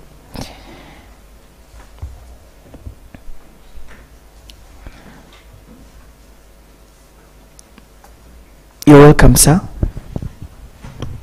I, I may do it sitting.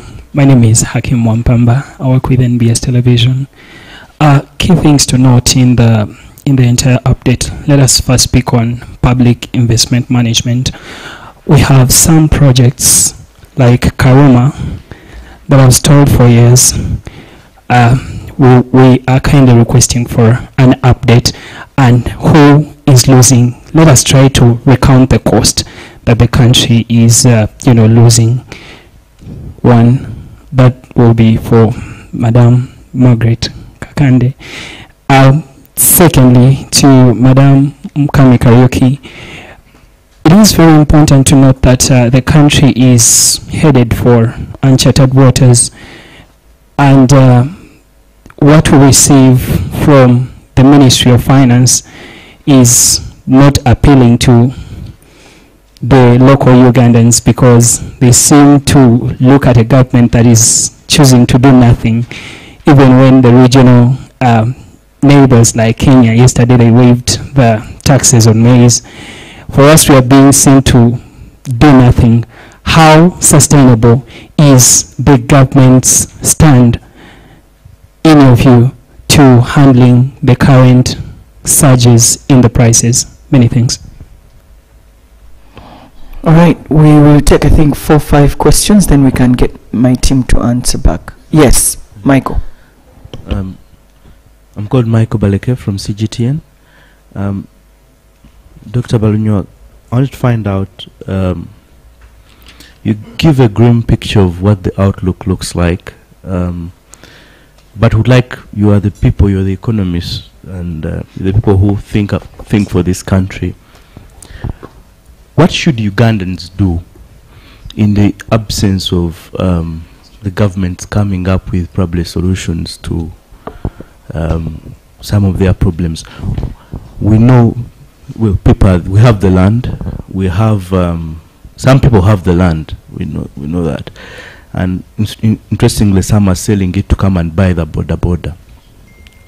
What should the people in the households do to help prepare themselves for the outlook, for this grim outlook? And then um, the, you've talked about subsidies. Uh, The government has a different view of subsidies. They actually said, um, well, the government in Nairobi um, tried it on fuel, but it hit them because the subsidies are targeting the wrong people. They're targeting cartels. What um, do you agree that actually government? Um, you said okay, this, uh, you, you- you prefer the subs, but the government says they will not be able to give uh, these subsidies. In what way? How can they bring them out so that these subsidies can target the real people that need to get them? And then they have also talked about uh, the government has talked about um, oil and gas. Is this something we could look at? You've said gold may not benefit the local people, but do you think we can benefit from oil and gas? Thank you. $10 billion to be pumped into the economy. Oil coming out of the ground by 2025. All right. More questions? Yes, you're welcome, sir. Thank you. Uh, my name is Aloysius Kasoma. I work with the New Vision. I have a question that goes to the country director. Uh, recently, there was uh, public excitement uh, that Uganda has attained the middle income status. And then here, I'm reading uh, on, in, the, uh, in the executive summary that uh, below uh, pre-COVID-19 projections, ah, let me start from here. Overall growth for financial year 2022 is estimated at 3.7%, below pre-COVID-19 projections of over 6%, and leaving Uganda's per capita income estimated at about uh, US dollars 850, while below lower middle income threshold of uh, US dollars 1 uh, per person. I just want to get this into a clear perspective. Where exactly are we uh, regarding the income status? Uh, I just want to understand that.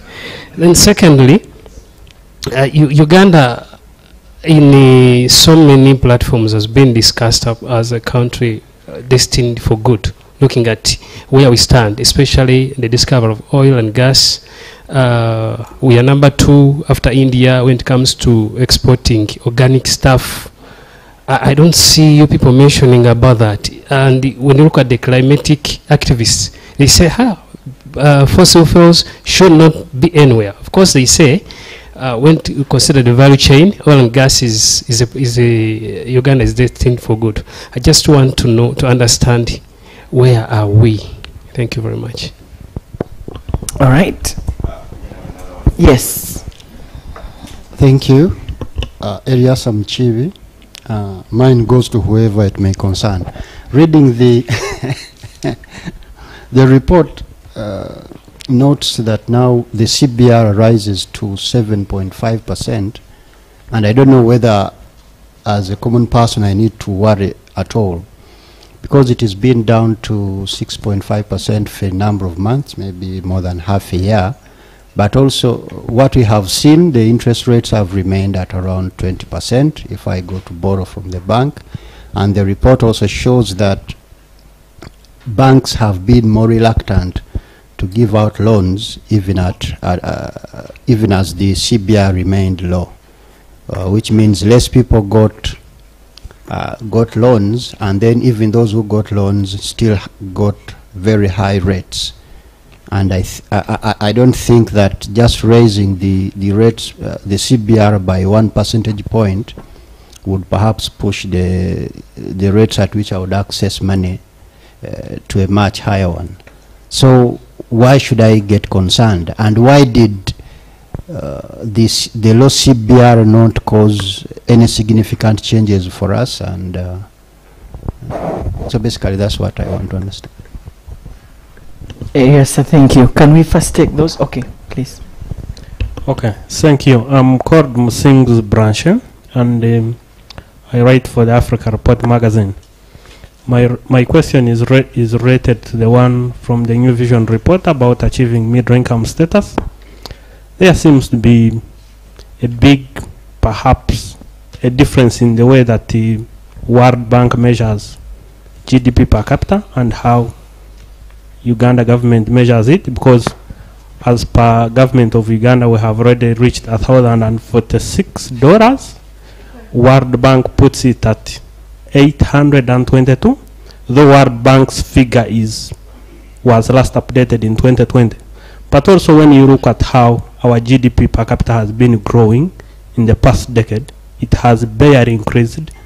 We reached around 2013 to 2016 when it was actually going down.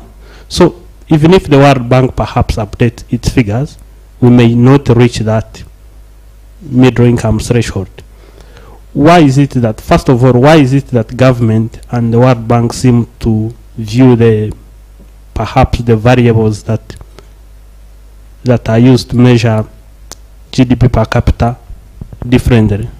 Second, it is that given that this econ our GDP per capita has barely increased in the in this past decade, what's wrong with our economy, and what does government need to do so that to achieve middle income status? Thank you. All right, thank you. I guess we may need to answer those, but there are also about three questions from people who are watching online. And I think I can read them out so that we can take it all at a go. Um, the first question goes to Professor Balunywa. The parish development model has been initiated by government for the next financial year. We know that there are some gaps in it.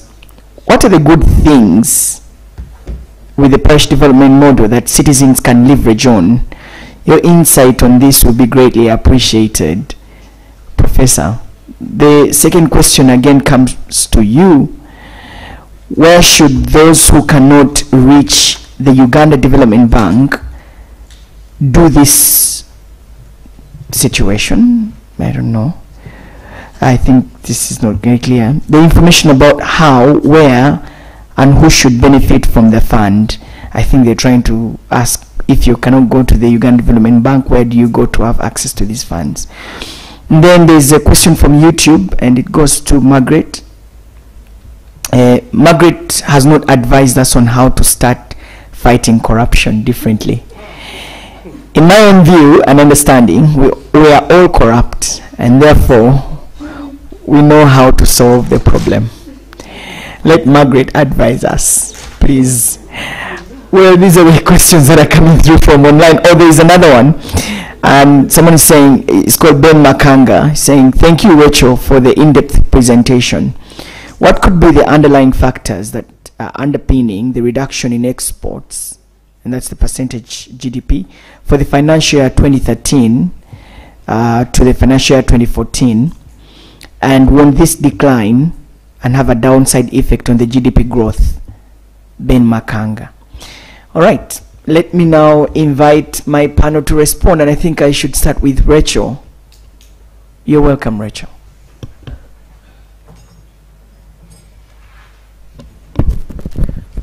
Yeah, thank you very much. Um, and for those uh, very thoughtful questions. Um, I think I'll first, uh, I'll first go to the last one because we had responded on, on the chat on that question of what is driving the slowdown in exports for the next financial year. Next financial year, but one, that is 2023 2024. Um, the forecast we have actually shows us uh, a flat. There is no growth in uh, next financial year that is starting tomorrow, and then a, a reduction. And that is basically uh, drawing from what is happening to the global economy. If incomes are coming down, especially in Europe, which takes about 30% of our exports, we assume that that will have an impact on the exports uh, for Uganda, and that's the assumption that we use. Definitely, that has uh, an impact on, on growth because exports are part of, you know, the upward driving factor for, for GDP growth. And that's why we brought down our forecast from um, to about 6 instead of what it had been earlier of 6.5%. Um, the other question that has been on the table, I think the one on Karuma is for Margaret. Uh, I, I think I, I can go straight to the middle income one. The middle income issue, um, I, I think comes from the way the World Bank measures per capita income. The approach we use looks at, because Uganda is an open economy, so there are some residents within the country who are actually earning income out of Uganda, and there are those who are outside who are, you know, who are, who are um, uh, earning income from Uganda. So we take GDP and adjust it for that net income. And that is one of the main differences between GDP per capita and what we call gross national income per capita. The reason the World Bank uses that is because of what I've said. Income is not just in the GDP, but also in um, those net flows between residents and, and the rest of the world. In the report, there is a box that actually talks in more detail about how this is done in the World Bank, so you can get more comments there. The second uh, issue that we take into account is, first of all, the exchange rate over three years. The first, with the past three years, um, is um, taken the average because you don't want to take a one year's um, uh, exchange rate because of the volatility that you normally have. But in addition to that is the adjustment for inflation between Uganda's inflation and that of, of the world. And for the world, we take a basket of about, I think there are seven countries, the G7, that normally account for, are in the basket of, of calculating the SDR rate. But those are technical details that maybe you don't want to go. But, but, but, but the bottom line is that you take the movement in inflation versus the rest of the world so that you're not just looking at Uganda's situation because Uganda is situated in the rest of the world um, and for that matter. And the other issue is the population. We look at the media population, so uh, and, and use that and, uh, as, as the basis for, you know, uh, uh, determining how much each person is getting uh, per, per, per, per year. And uh, and the dat- data sources that we use are mainly the you know the, the, the Uganda Bureau of Statistics. And while there is a lag, the official number that is going to be used for classification of countries come 1st of July, that is tomorrow, is actually the GDP and uh, the flow, the GNI that was calculated for financial year 2021 because you don't have with certainty what has happened in, in this current year that is ending today. There are still estimates, you know, you're trying to determine the figures. So the number that is used with certainty is the one of what happened in financial year 2021. And then you do all the adjustments and come up with a, a you know, a firm figure and use that as the, the gross national income for financial year, to determine the, the classification for financial year 2022, 23. Then when it comes to the thresholds, these are also adjusting. If you, also in the book, if, if you look at what has been happening, you'll see that um, um, maybe page, which page is this? Page 30, you see that the threshold also has to be adjusted. Way back in um, 1987, the famous years, 1986, the threshold was about 200. So the threshold also has to be adjusted. The, this current year, we have 1,045. Then this maybe next financial year, because it, it, it is adjusted in line with what is going on in the, in the rest of the world. So next financial year, it, it, is, it, it will be even higher, most probably. Maybe in about five years, it, will, it may even go to 2,000. So it, it is not static. So that's what we should also take into account. As our income is growing, the threshold for getting into middle income is also uh, expanding. So the bottom line is, according to the calculations based on those factors, the GDP, G, GNI per capita, Uganda's um, classification is is likely is is going to be uh, still low income in terms of uh, starting next financial year, and that is because the calculated number is 840. You might wonder maybe if you go into details, um, some of the factors uh, that could have made this lower than the GDP is the fact that, as I said, GNI uh, takes into account the net incomes between Uganda and the rest of the world. In the earlier years, this was a positive addition to GDP, but in the most recent years, it looks like there has been more outflows out, out of Uganda, net income outflows, uh, than inflows uh, in the in the most recent years. So when you compare this series, you find that in the most recent years, GNI is actually lower than the GDP, uh, slightly, but otherwise they normally trend together. So I think that's what I can say on, on the issue of middle income classification and why what our numbers are showing, um, given the methodology that we use. What does government need to do to get to middle income level? Again, I think uh, it is the issue of how do you make sure that the economy is transforming, how do you accelerate growth, all the issues that we've been talking about on how to get uh, growth going because as you've mentioned, I, I don't know who mentioned, the growth had slowed down because of these many shocks. But how do we get back to, to the a growth path that will enable us move much faster to middle income status? I think those were the main questions. I, the CBR, maybe Professor will answer uh, uh, quickly as to why should we be even bothered if when it was 6.5 for so many years so many months, nothing really happened to credit. Prof, you're welcome. Yeah, um, thank you very much. Um, uh, Michael, I, I didn't paint a grim picture, really, did I? Sorry, there's a lot of activity in this country.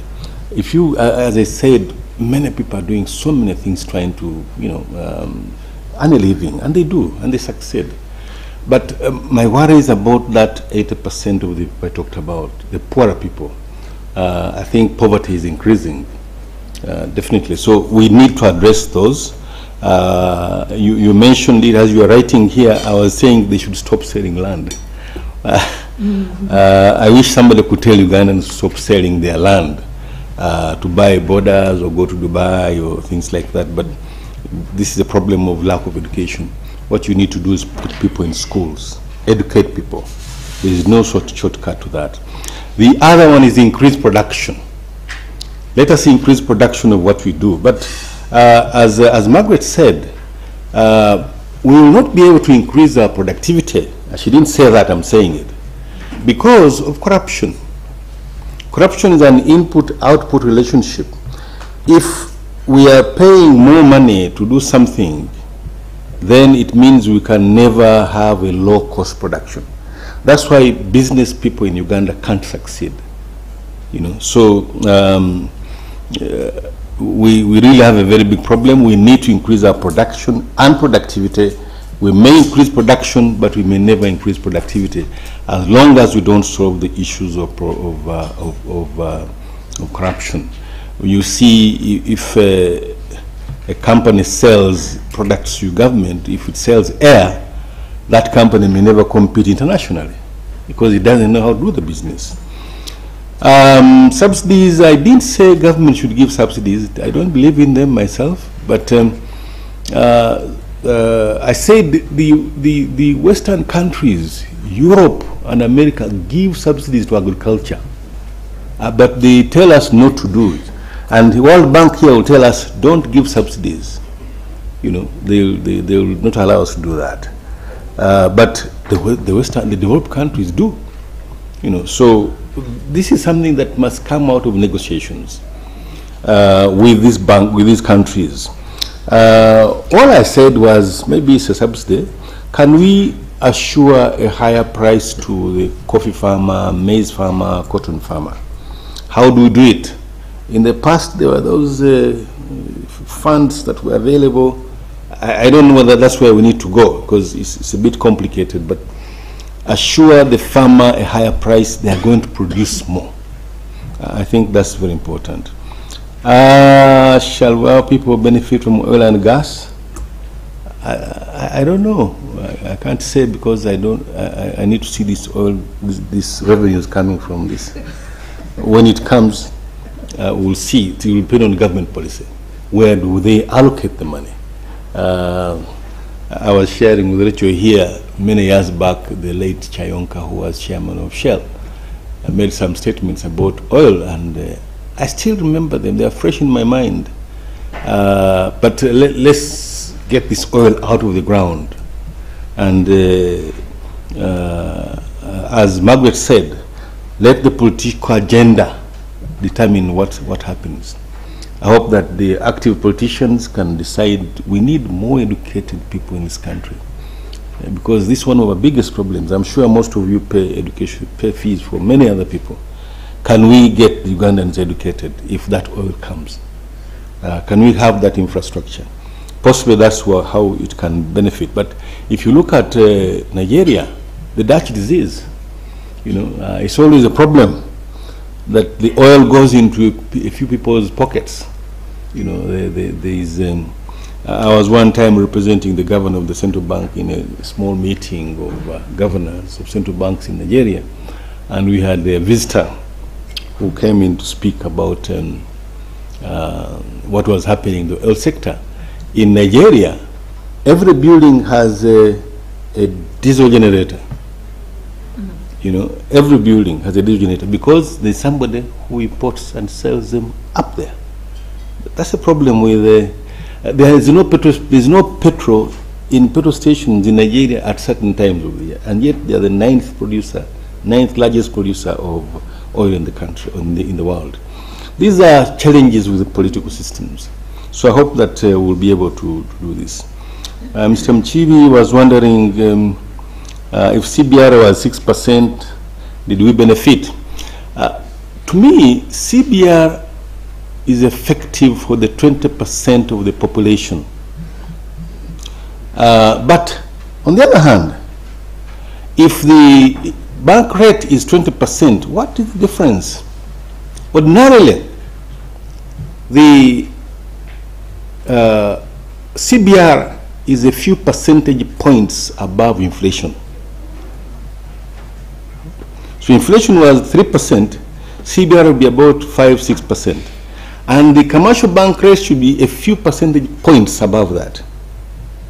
Now, if for CBR is 6 and the commercial bank rate is 20%, what is the problem? Corruption, inefficiency.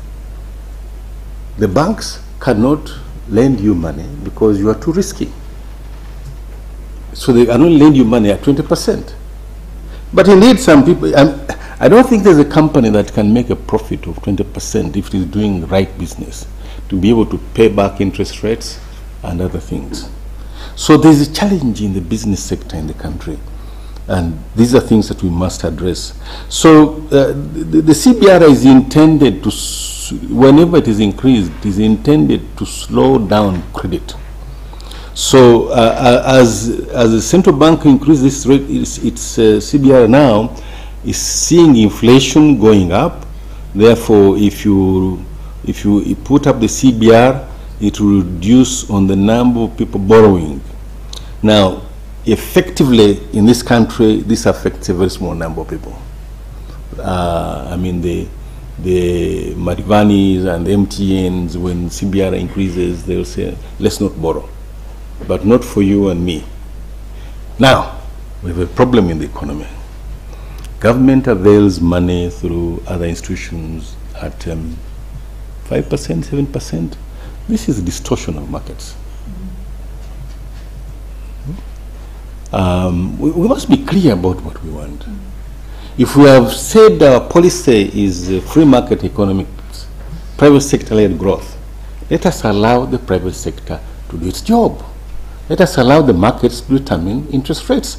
So when I am, uh, you give me credit at 5% and I start producing, then I don't want to pay taxes because we have not sensitized people about taxes. Now, the day you ask me to go to the center to, to a commercial bank to borrow money, I will never borrow it because I can't afford it. I don't understand it.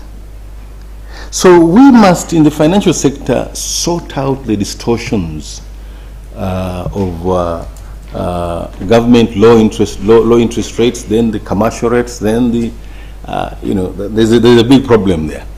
Um, Parish development model is it's a wonderful proposal to address poverty. What I'm saying is that two things. One, in every area in the economy, government should point to what needs to be produced.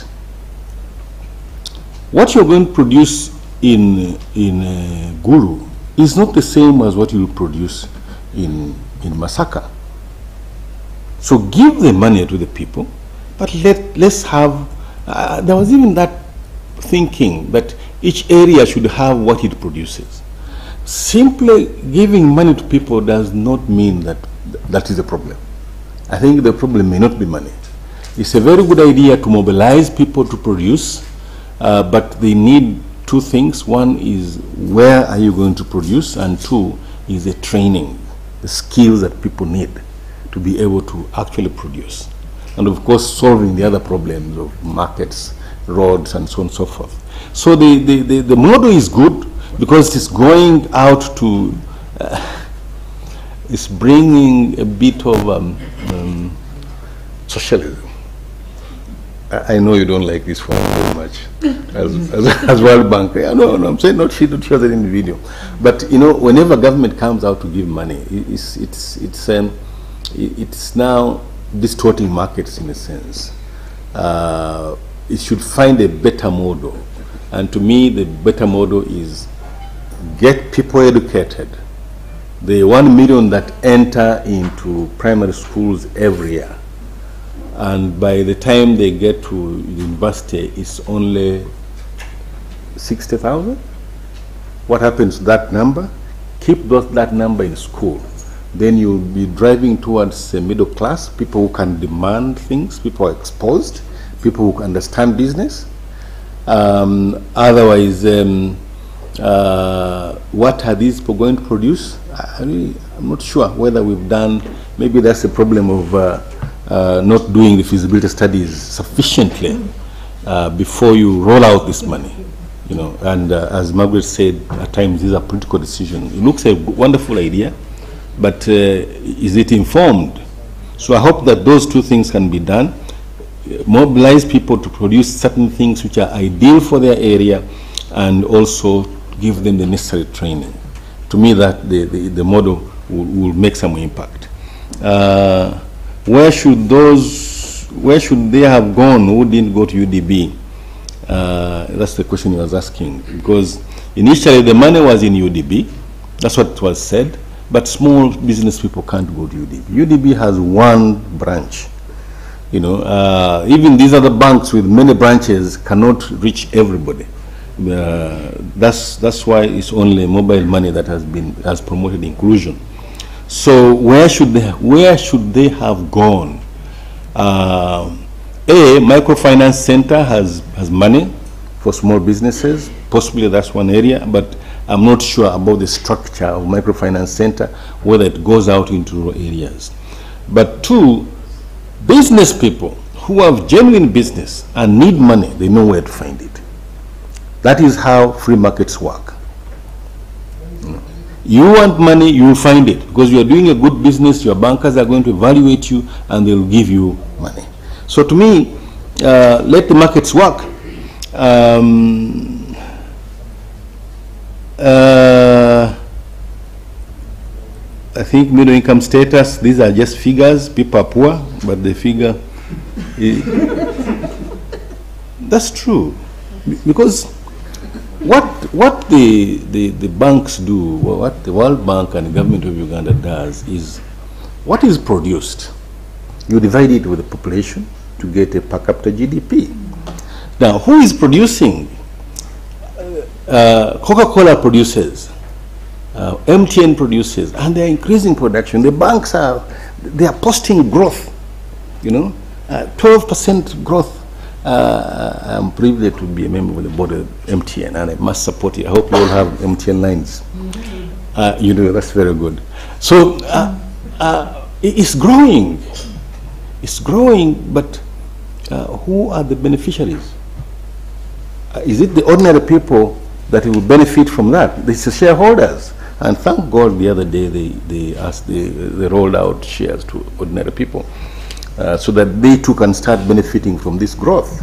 So if uh, big companies like beer and soda and television are increasing in their growth, once you divide that annual sales over the numbers of people, it will give you a very good figure. But doesn't mean that that ordinary person there has got an income. So uh, what we need to do is, can we focus on that production of that ordinary person? Finally, you don't need very complicated solutions, very simple solutions. How do we increase production in this country? To me, that, that's all. How do you increase production of the ordinary people, and you will be able to get uh, uh, the, the, the, the, the, the, the growth uh, coming up very well. And if you go into a country like the U.S., I think uh, said 80% of the population owns uh, 80% of the wealth. So while they may have a high per capita GDP, very many people in the US are poor because they don't actually take that benefit of it. So um, I think that's, uh, those are the issues that are addressed to me. How to start fighting corruption. Um, I have a small book I'm writing on this. Maybe one day I'll publish it. Thank you, Prof. Thank you. Thank you very much. You're welcome, ma'am. Oh, Margaret, you want Margaret to go first? Margaret, you're welcome to answer some of your questions. Uh, Thank you so much. I only have two questions.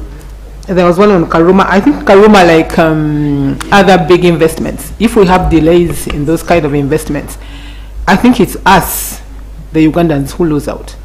So, for example, if you look at Karuma, that's um, a project worth 688 million investment. So, if that project could end, then we would have that fiscal space in the PIP. But when it's clogged with so much money, then others which would actually come in and get that kind of funding are not coming in. That's a big loss. But also the, the fact that if Karuma does not start working and we, and, and we get the power, you know the implications of not having energy, you know, in, in the different parts of the country. So it, really at the end of the day, we are, we are the, the, the, the losers. Uh, corruption, uh, the person said that uh, we all know what it is and what to do. So please do what you are supposed to do. Um, I'll just say two things. I think we should make corruption a very expensive venture. Because right now, somebody can know so and so took a trillion. So what? Nothing really happens.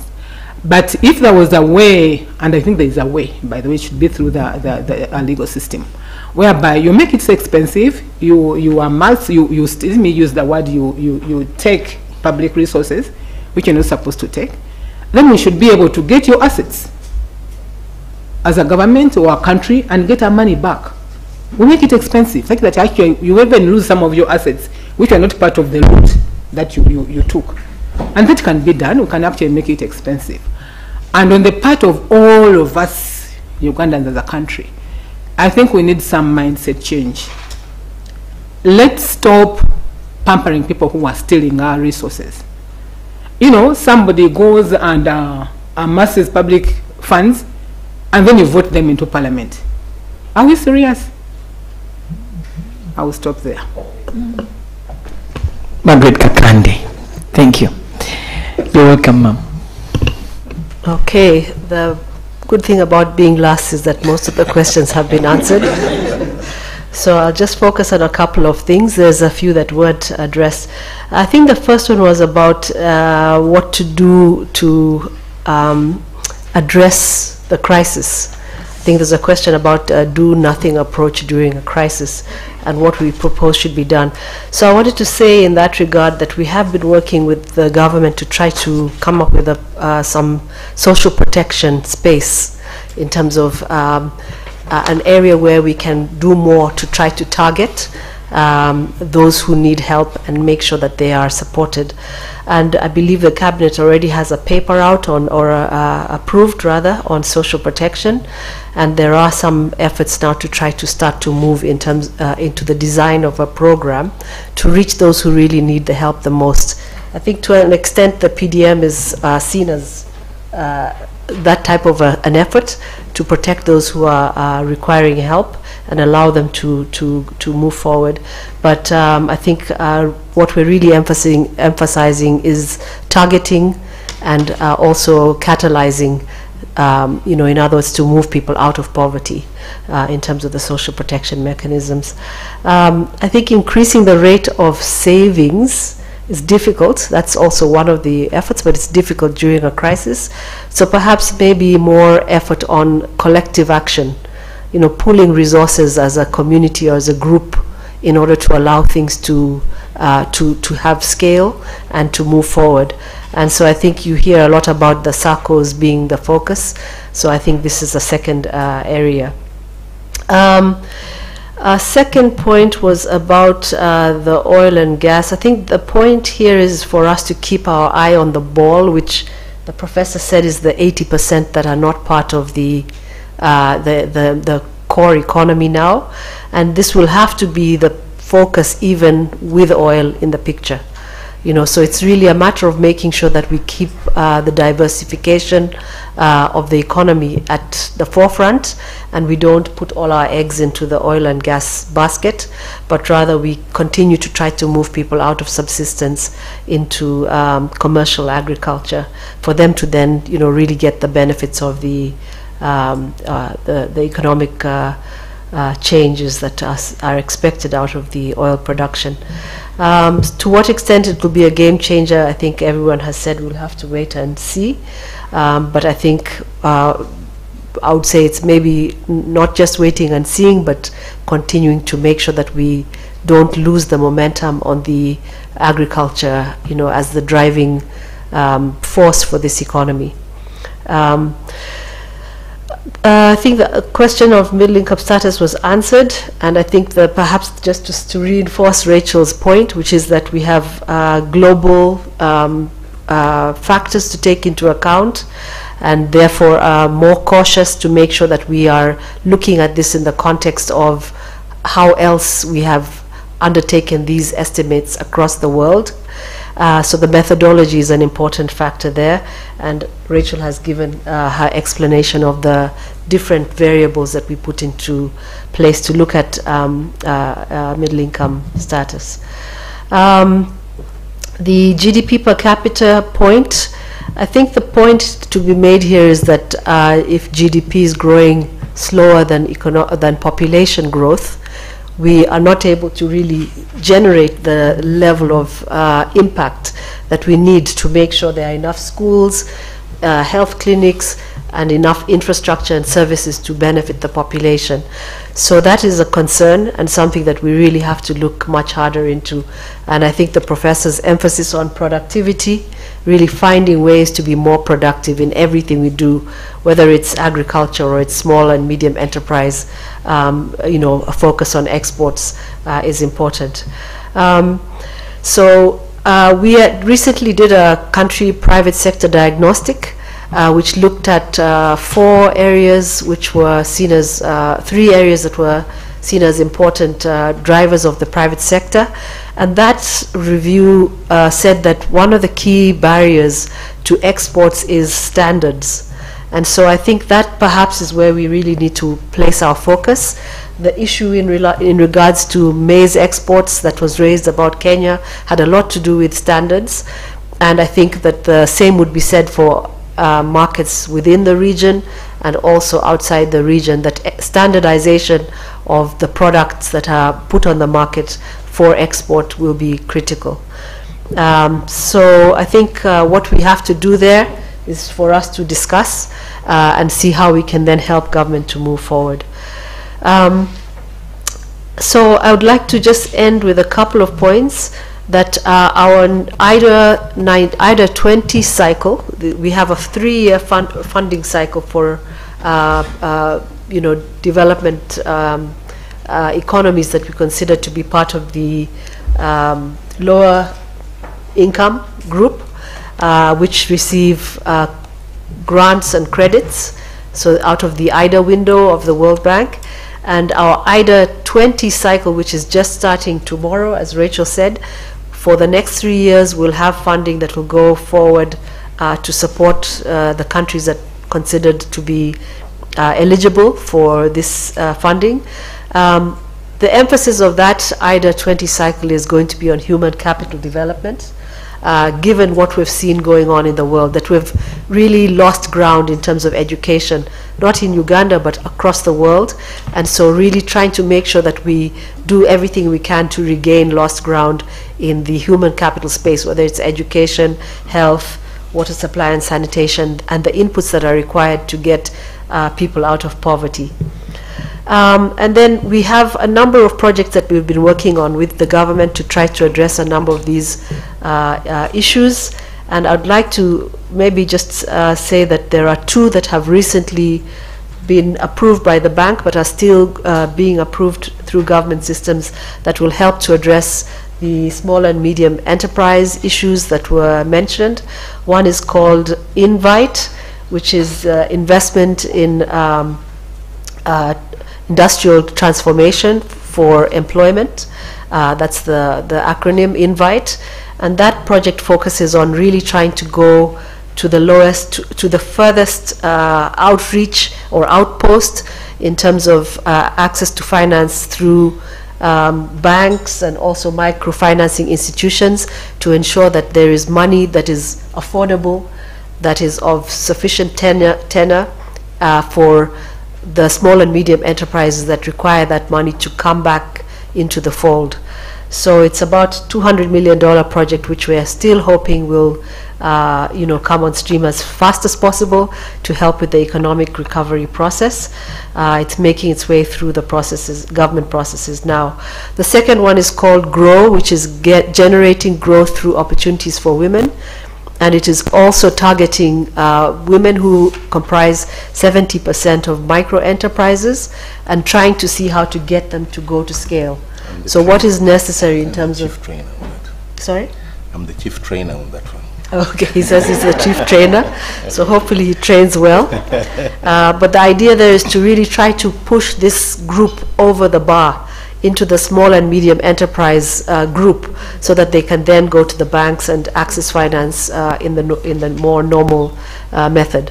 So again, you can see that we're trying to listen to what's going on on the ground in the country, in the region, and and emphasize uh, the types of projects that can then fill the gap. Uh, it- a question was raised about uh, access to um, resources to enable the economy to uh, to continue to get back on track. So we are continuing to try to see how we can fill the gap, but also address um, the bottom 40, as we call it, of the population, uh, which uh, don't necessarily fit into the the 20% that he talked about and have access to alternatives. A last point is uh, the opportunity to focus on regional exports has improved through the Africa Free Continental Trade Agreement, and I think that uh, we, we are looking to see what can be done to really help government to take ad- advantage of the opportunity that is opening up there. I believe recently we've heard about a big effort that's going on to try to see what can be done to export more goods from Uganda to fill in the gap that has been left by uh, Ukraine, for example, which was exporting maize to many African countries. If Uganda can fill in that gap, it would be a good opportunity. So I think uh, striking while the iron is hot is something that uh, perhaps we need to do in the forthcoming year not just to help with the country's exports, but also to address the question that was raised at the beginning, what should Ugandans do to prepare for the grim outlook, is really to see what can be done to really work together more collective, in a more collective manner to um, take advantage of these opportunities uh, for the country to get back on track. So I'll stop there and uh, turn it back to you. Wow, moderator. thank you very much. A round of applause to my panel today. Thank you for answering all the questions. Um, I think our time is fast spent. You had a burning one. Okay, I'll give you 30 seconds.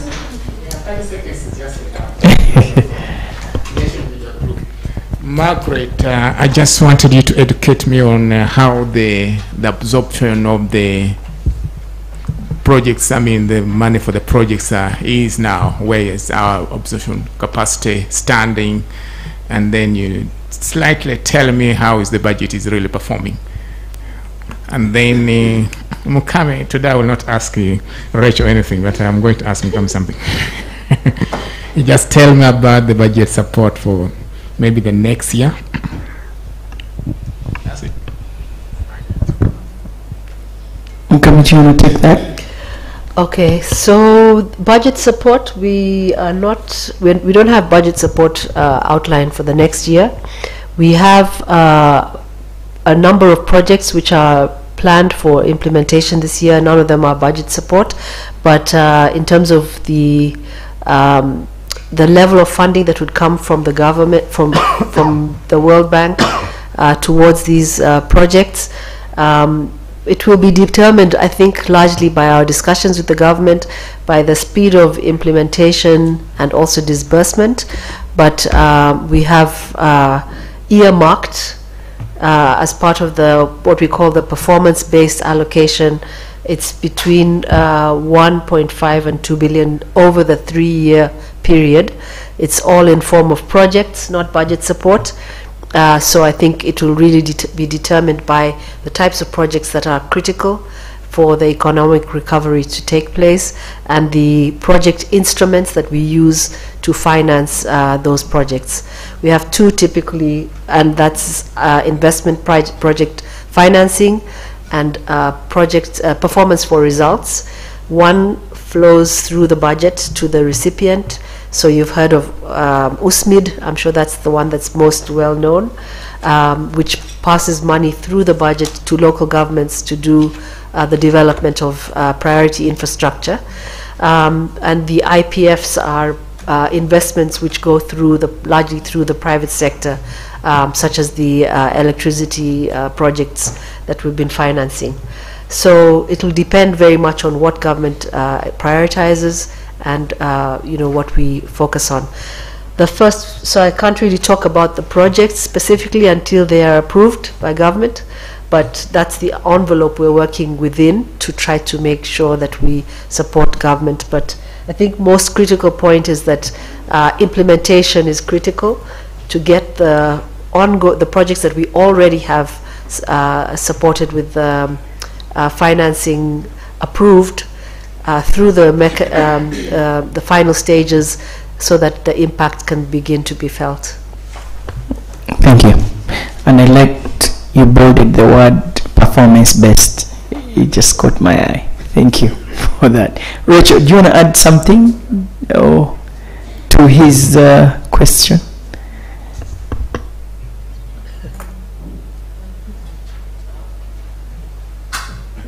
All right. So, Can I say uh, yes. in a minute? Um, just to, to inform you that um, today is 30th. Yeah, it's a very important date for us. We've closed the budget. So tomorrow we are beginning a new budget. So there's nothing like talking about uh, how is the budget doing. We are beginning a new budget tomorrow. Now, in terms of uh, absorption, uh, the only issues that we saw last financial year were mainly for externally funded projects.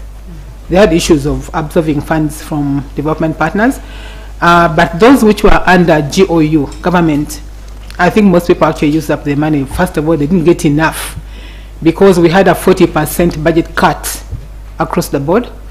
So in that case, the money was already reduced. So GO funding was already suppressed and people used what they had. But for external funding, a number of uh, projects had issues in terms of using those funds. Yeah. Could it have been because of performance? Performance based, like Mukami said.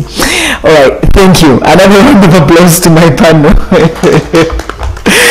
All right, thank you very much, Margaret Kakande. Uh, Margaret is the head of budget monitoring unit at the Ministry of Finance. Thank you very much, Professor Waswa Balunywa. He's the principal at uh, Makerere University Business School. Rachel, of course. Um, Rachel is a senior economist with the World Bank. We've not had a lot of you, but hopefully we can have a lot of you later on as you pick up. And of course, uh, Mukami, thank you very much. Um, can I again call you to give us a wrap up and closing remarks? Yeah, you're welcome, ma'am. Uh, so thank you very much uh, for being here uh, and for being online and listening to this uh, event. Um, as Rachel said, we're at a point in time when this topic is uh, critical because uh, having the impact from the investments that are made will set the stage in terms of how uh, we feel the benefits of the investments. Uh, so this message that was given in the beginning about uh, countries that perform well uh, versus countries that are performing at an average getting 30% of the benefits of investment is, is important as a back, uh, background. Um, so I think what I wanted to do is just to say a couple of things uh, reflecting on what was said by the uh, two discussants uh, on the two parts of the report. Uh, the first one I think was uh, an important point that 80% of the economy is not um, uh, in the eye of the storm, if I can call it that, in terms of uh, the shocks that we're feeling from all the global uh, impacts, whether the pandemic or the, the, the war in Ukraine.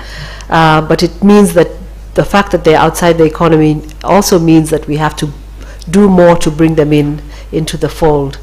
And uh, while government uh, did well at protecting the people during the COVID uh, period, uh, late stimulus that was not well targeted may have prompted some resurgence of um, uh, people selling land, uh, moving into the streets to vend because of the need to survive.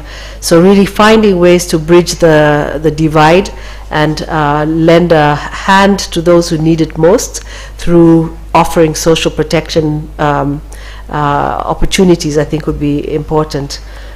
Um, so the fact that 30% of the population are entrepreneurs, I think was also uh, brought out, and uh, that this means better targeting in terms of who we provide um, uh, support to, uh, rather than just a blanket support or a subsidy that affects the entire population. It needs better definition in terms of local content, value addition, and pricing in order to stimulate productivity.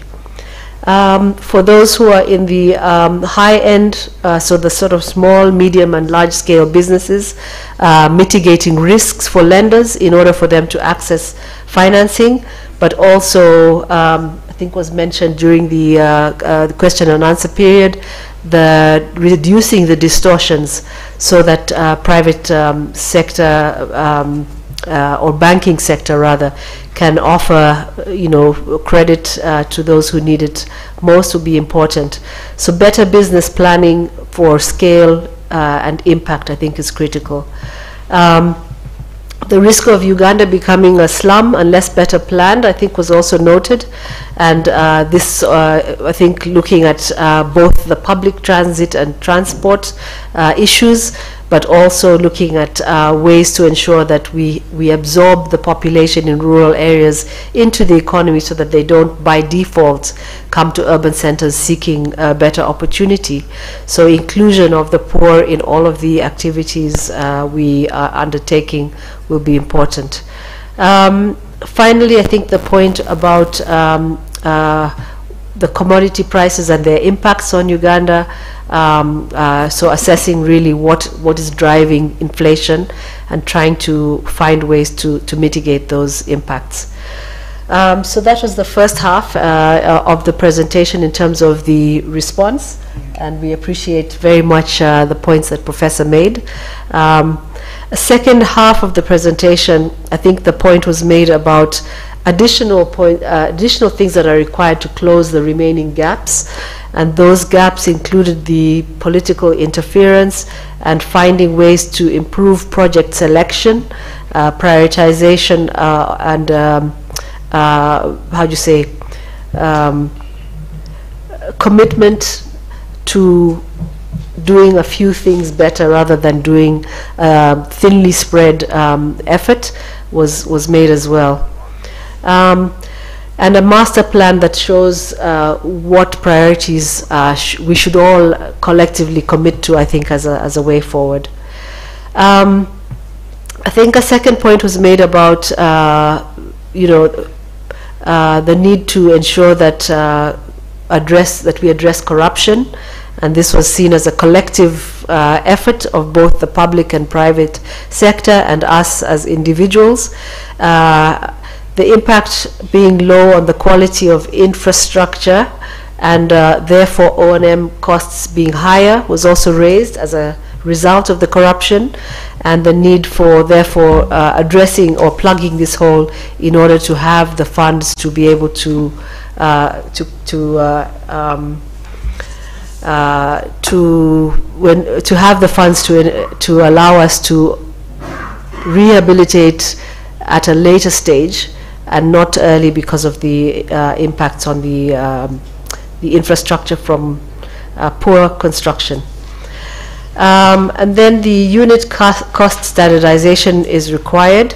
I think this, I think, is a point that has uh, been debated quite heavily over the uh, past. Um, it is these costs are actually costs that are regional, looked at at a regional level, but still require, of course, local analysis in order to uh, to come to uh, a more scientific um, assessment. So trying to find ways to standardize the cost, I think, is critical for the, uh, how do you say, cross evaluation across projects in order to choose those have, that are, um, uh, you know, most uh, impactful. So I think, uh, you know, what we need to do is to look at also the implications of, of uh, uh, some of the points that were made about the Uganda um, progress towards middle income status. Uh, as I understood uh, uh, the questions from, from the audience, it was really about trying to uh, see how the World Bank measures uh, this. I wanted to just reflect also that um, moving into middle income status also has its has benefits but also has uh, downside in terms of the resources that are available to the country uh, from the outside. Of course, once you're a bigger boy, you don't need to have uh, your mother spoon feed you, if I can call it that. And I think once you're uh, a, a, an adult, you don't need to live in your parents' house. And I think these are things that we have to factor in that we try to graduate countries out of the World Bank uh, they become IBRD, and that means they're only eligible for commercial resources once they are no longer um, low-income countries. Uh, and I think many of the development partners that contribute grant resources also do not provide the same level of resources to countries that are um, uh, lower um, middle income uh, or even middle income. So I think the, the transition will happen, uh, but it will need to be um, managed so that uh, once you take your, your foot off this stone, you'll be able to, uh, you know, move on to the, the other stone without falling into the water. And I think that's where we try to, to see what we can do to bridge the gap, to provide the information about um, the risks globally that have to be factored into the equation for Uganda not to, to lose uh, resources that it might require at this difficult time uh, in order to get us quicker to the lower middle income status that uh, is uh, desired. So I think uh, I'll stop there and just say that it's been a very interesting discussion and we hope that it has been brain, what did you say? Brain tickling and uh, that you have all uh, learnt something from this discussion and that you'll also take the time to go through the publication, to have the debates and to spread the word about the things that are important for us going forward. It will be a difficult time, but we do need to reflect on this and then to adjust our, our uh, behavior accordingly so that we can manage the, the difficult times. Thank you and uh, have a good afternoon. Right, thank you. Mukami Kariuki is a country manager for the World Bank. I hope you can join us for our Twitter space in the evening later on um, today. I just just want to invite you all. Uh, we'll be having a Twitter space uh, today evening. It will be hosted by the World Bank, but I'll be co-hosting it, so it could be more another opportunity to interact with people. Professor you'll I think also be joining today, and Rachel will also be around. Margaret, I hope you can also join us on Twitter.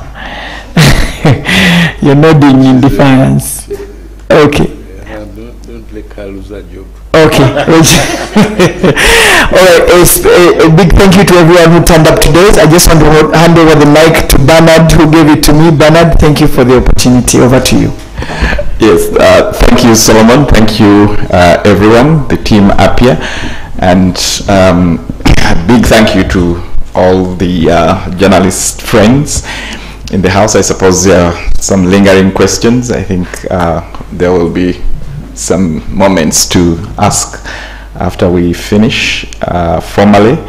Um, I'm sending you the press release, um, Rachel's presentation, and a link to the report that's just been published online uh, in case. But we also have still have some physical copies. If you don't have any and you want one, please uh, just say so. We'll have we'll get you one. Thank you and thank you very much. Have a great um day. And, and just to be sure, the Twitter Spaces starts at 6 p.m. 6 p.m. Thank you. I just give my card, please.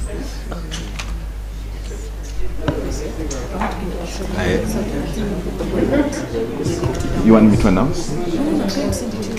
Okay. I- no, no, I haven't yet. Okay, let me, let me just WhatsApp it to you. I created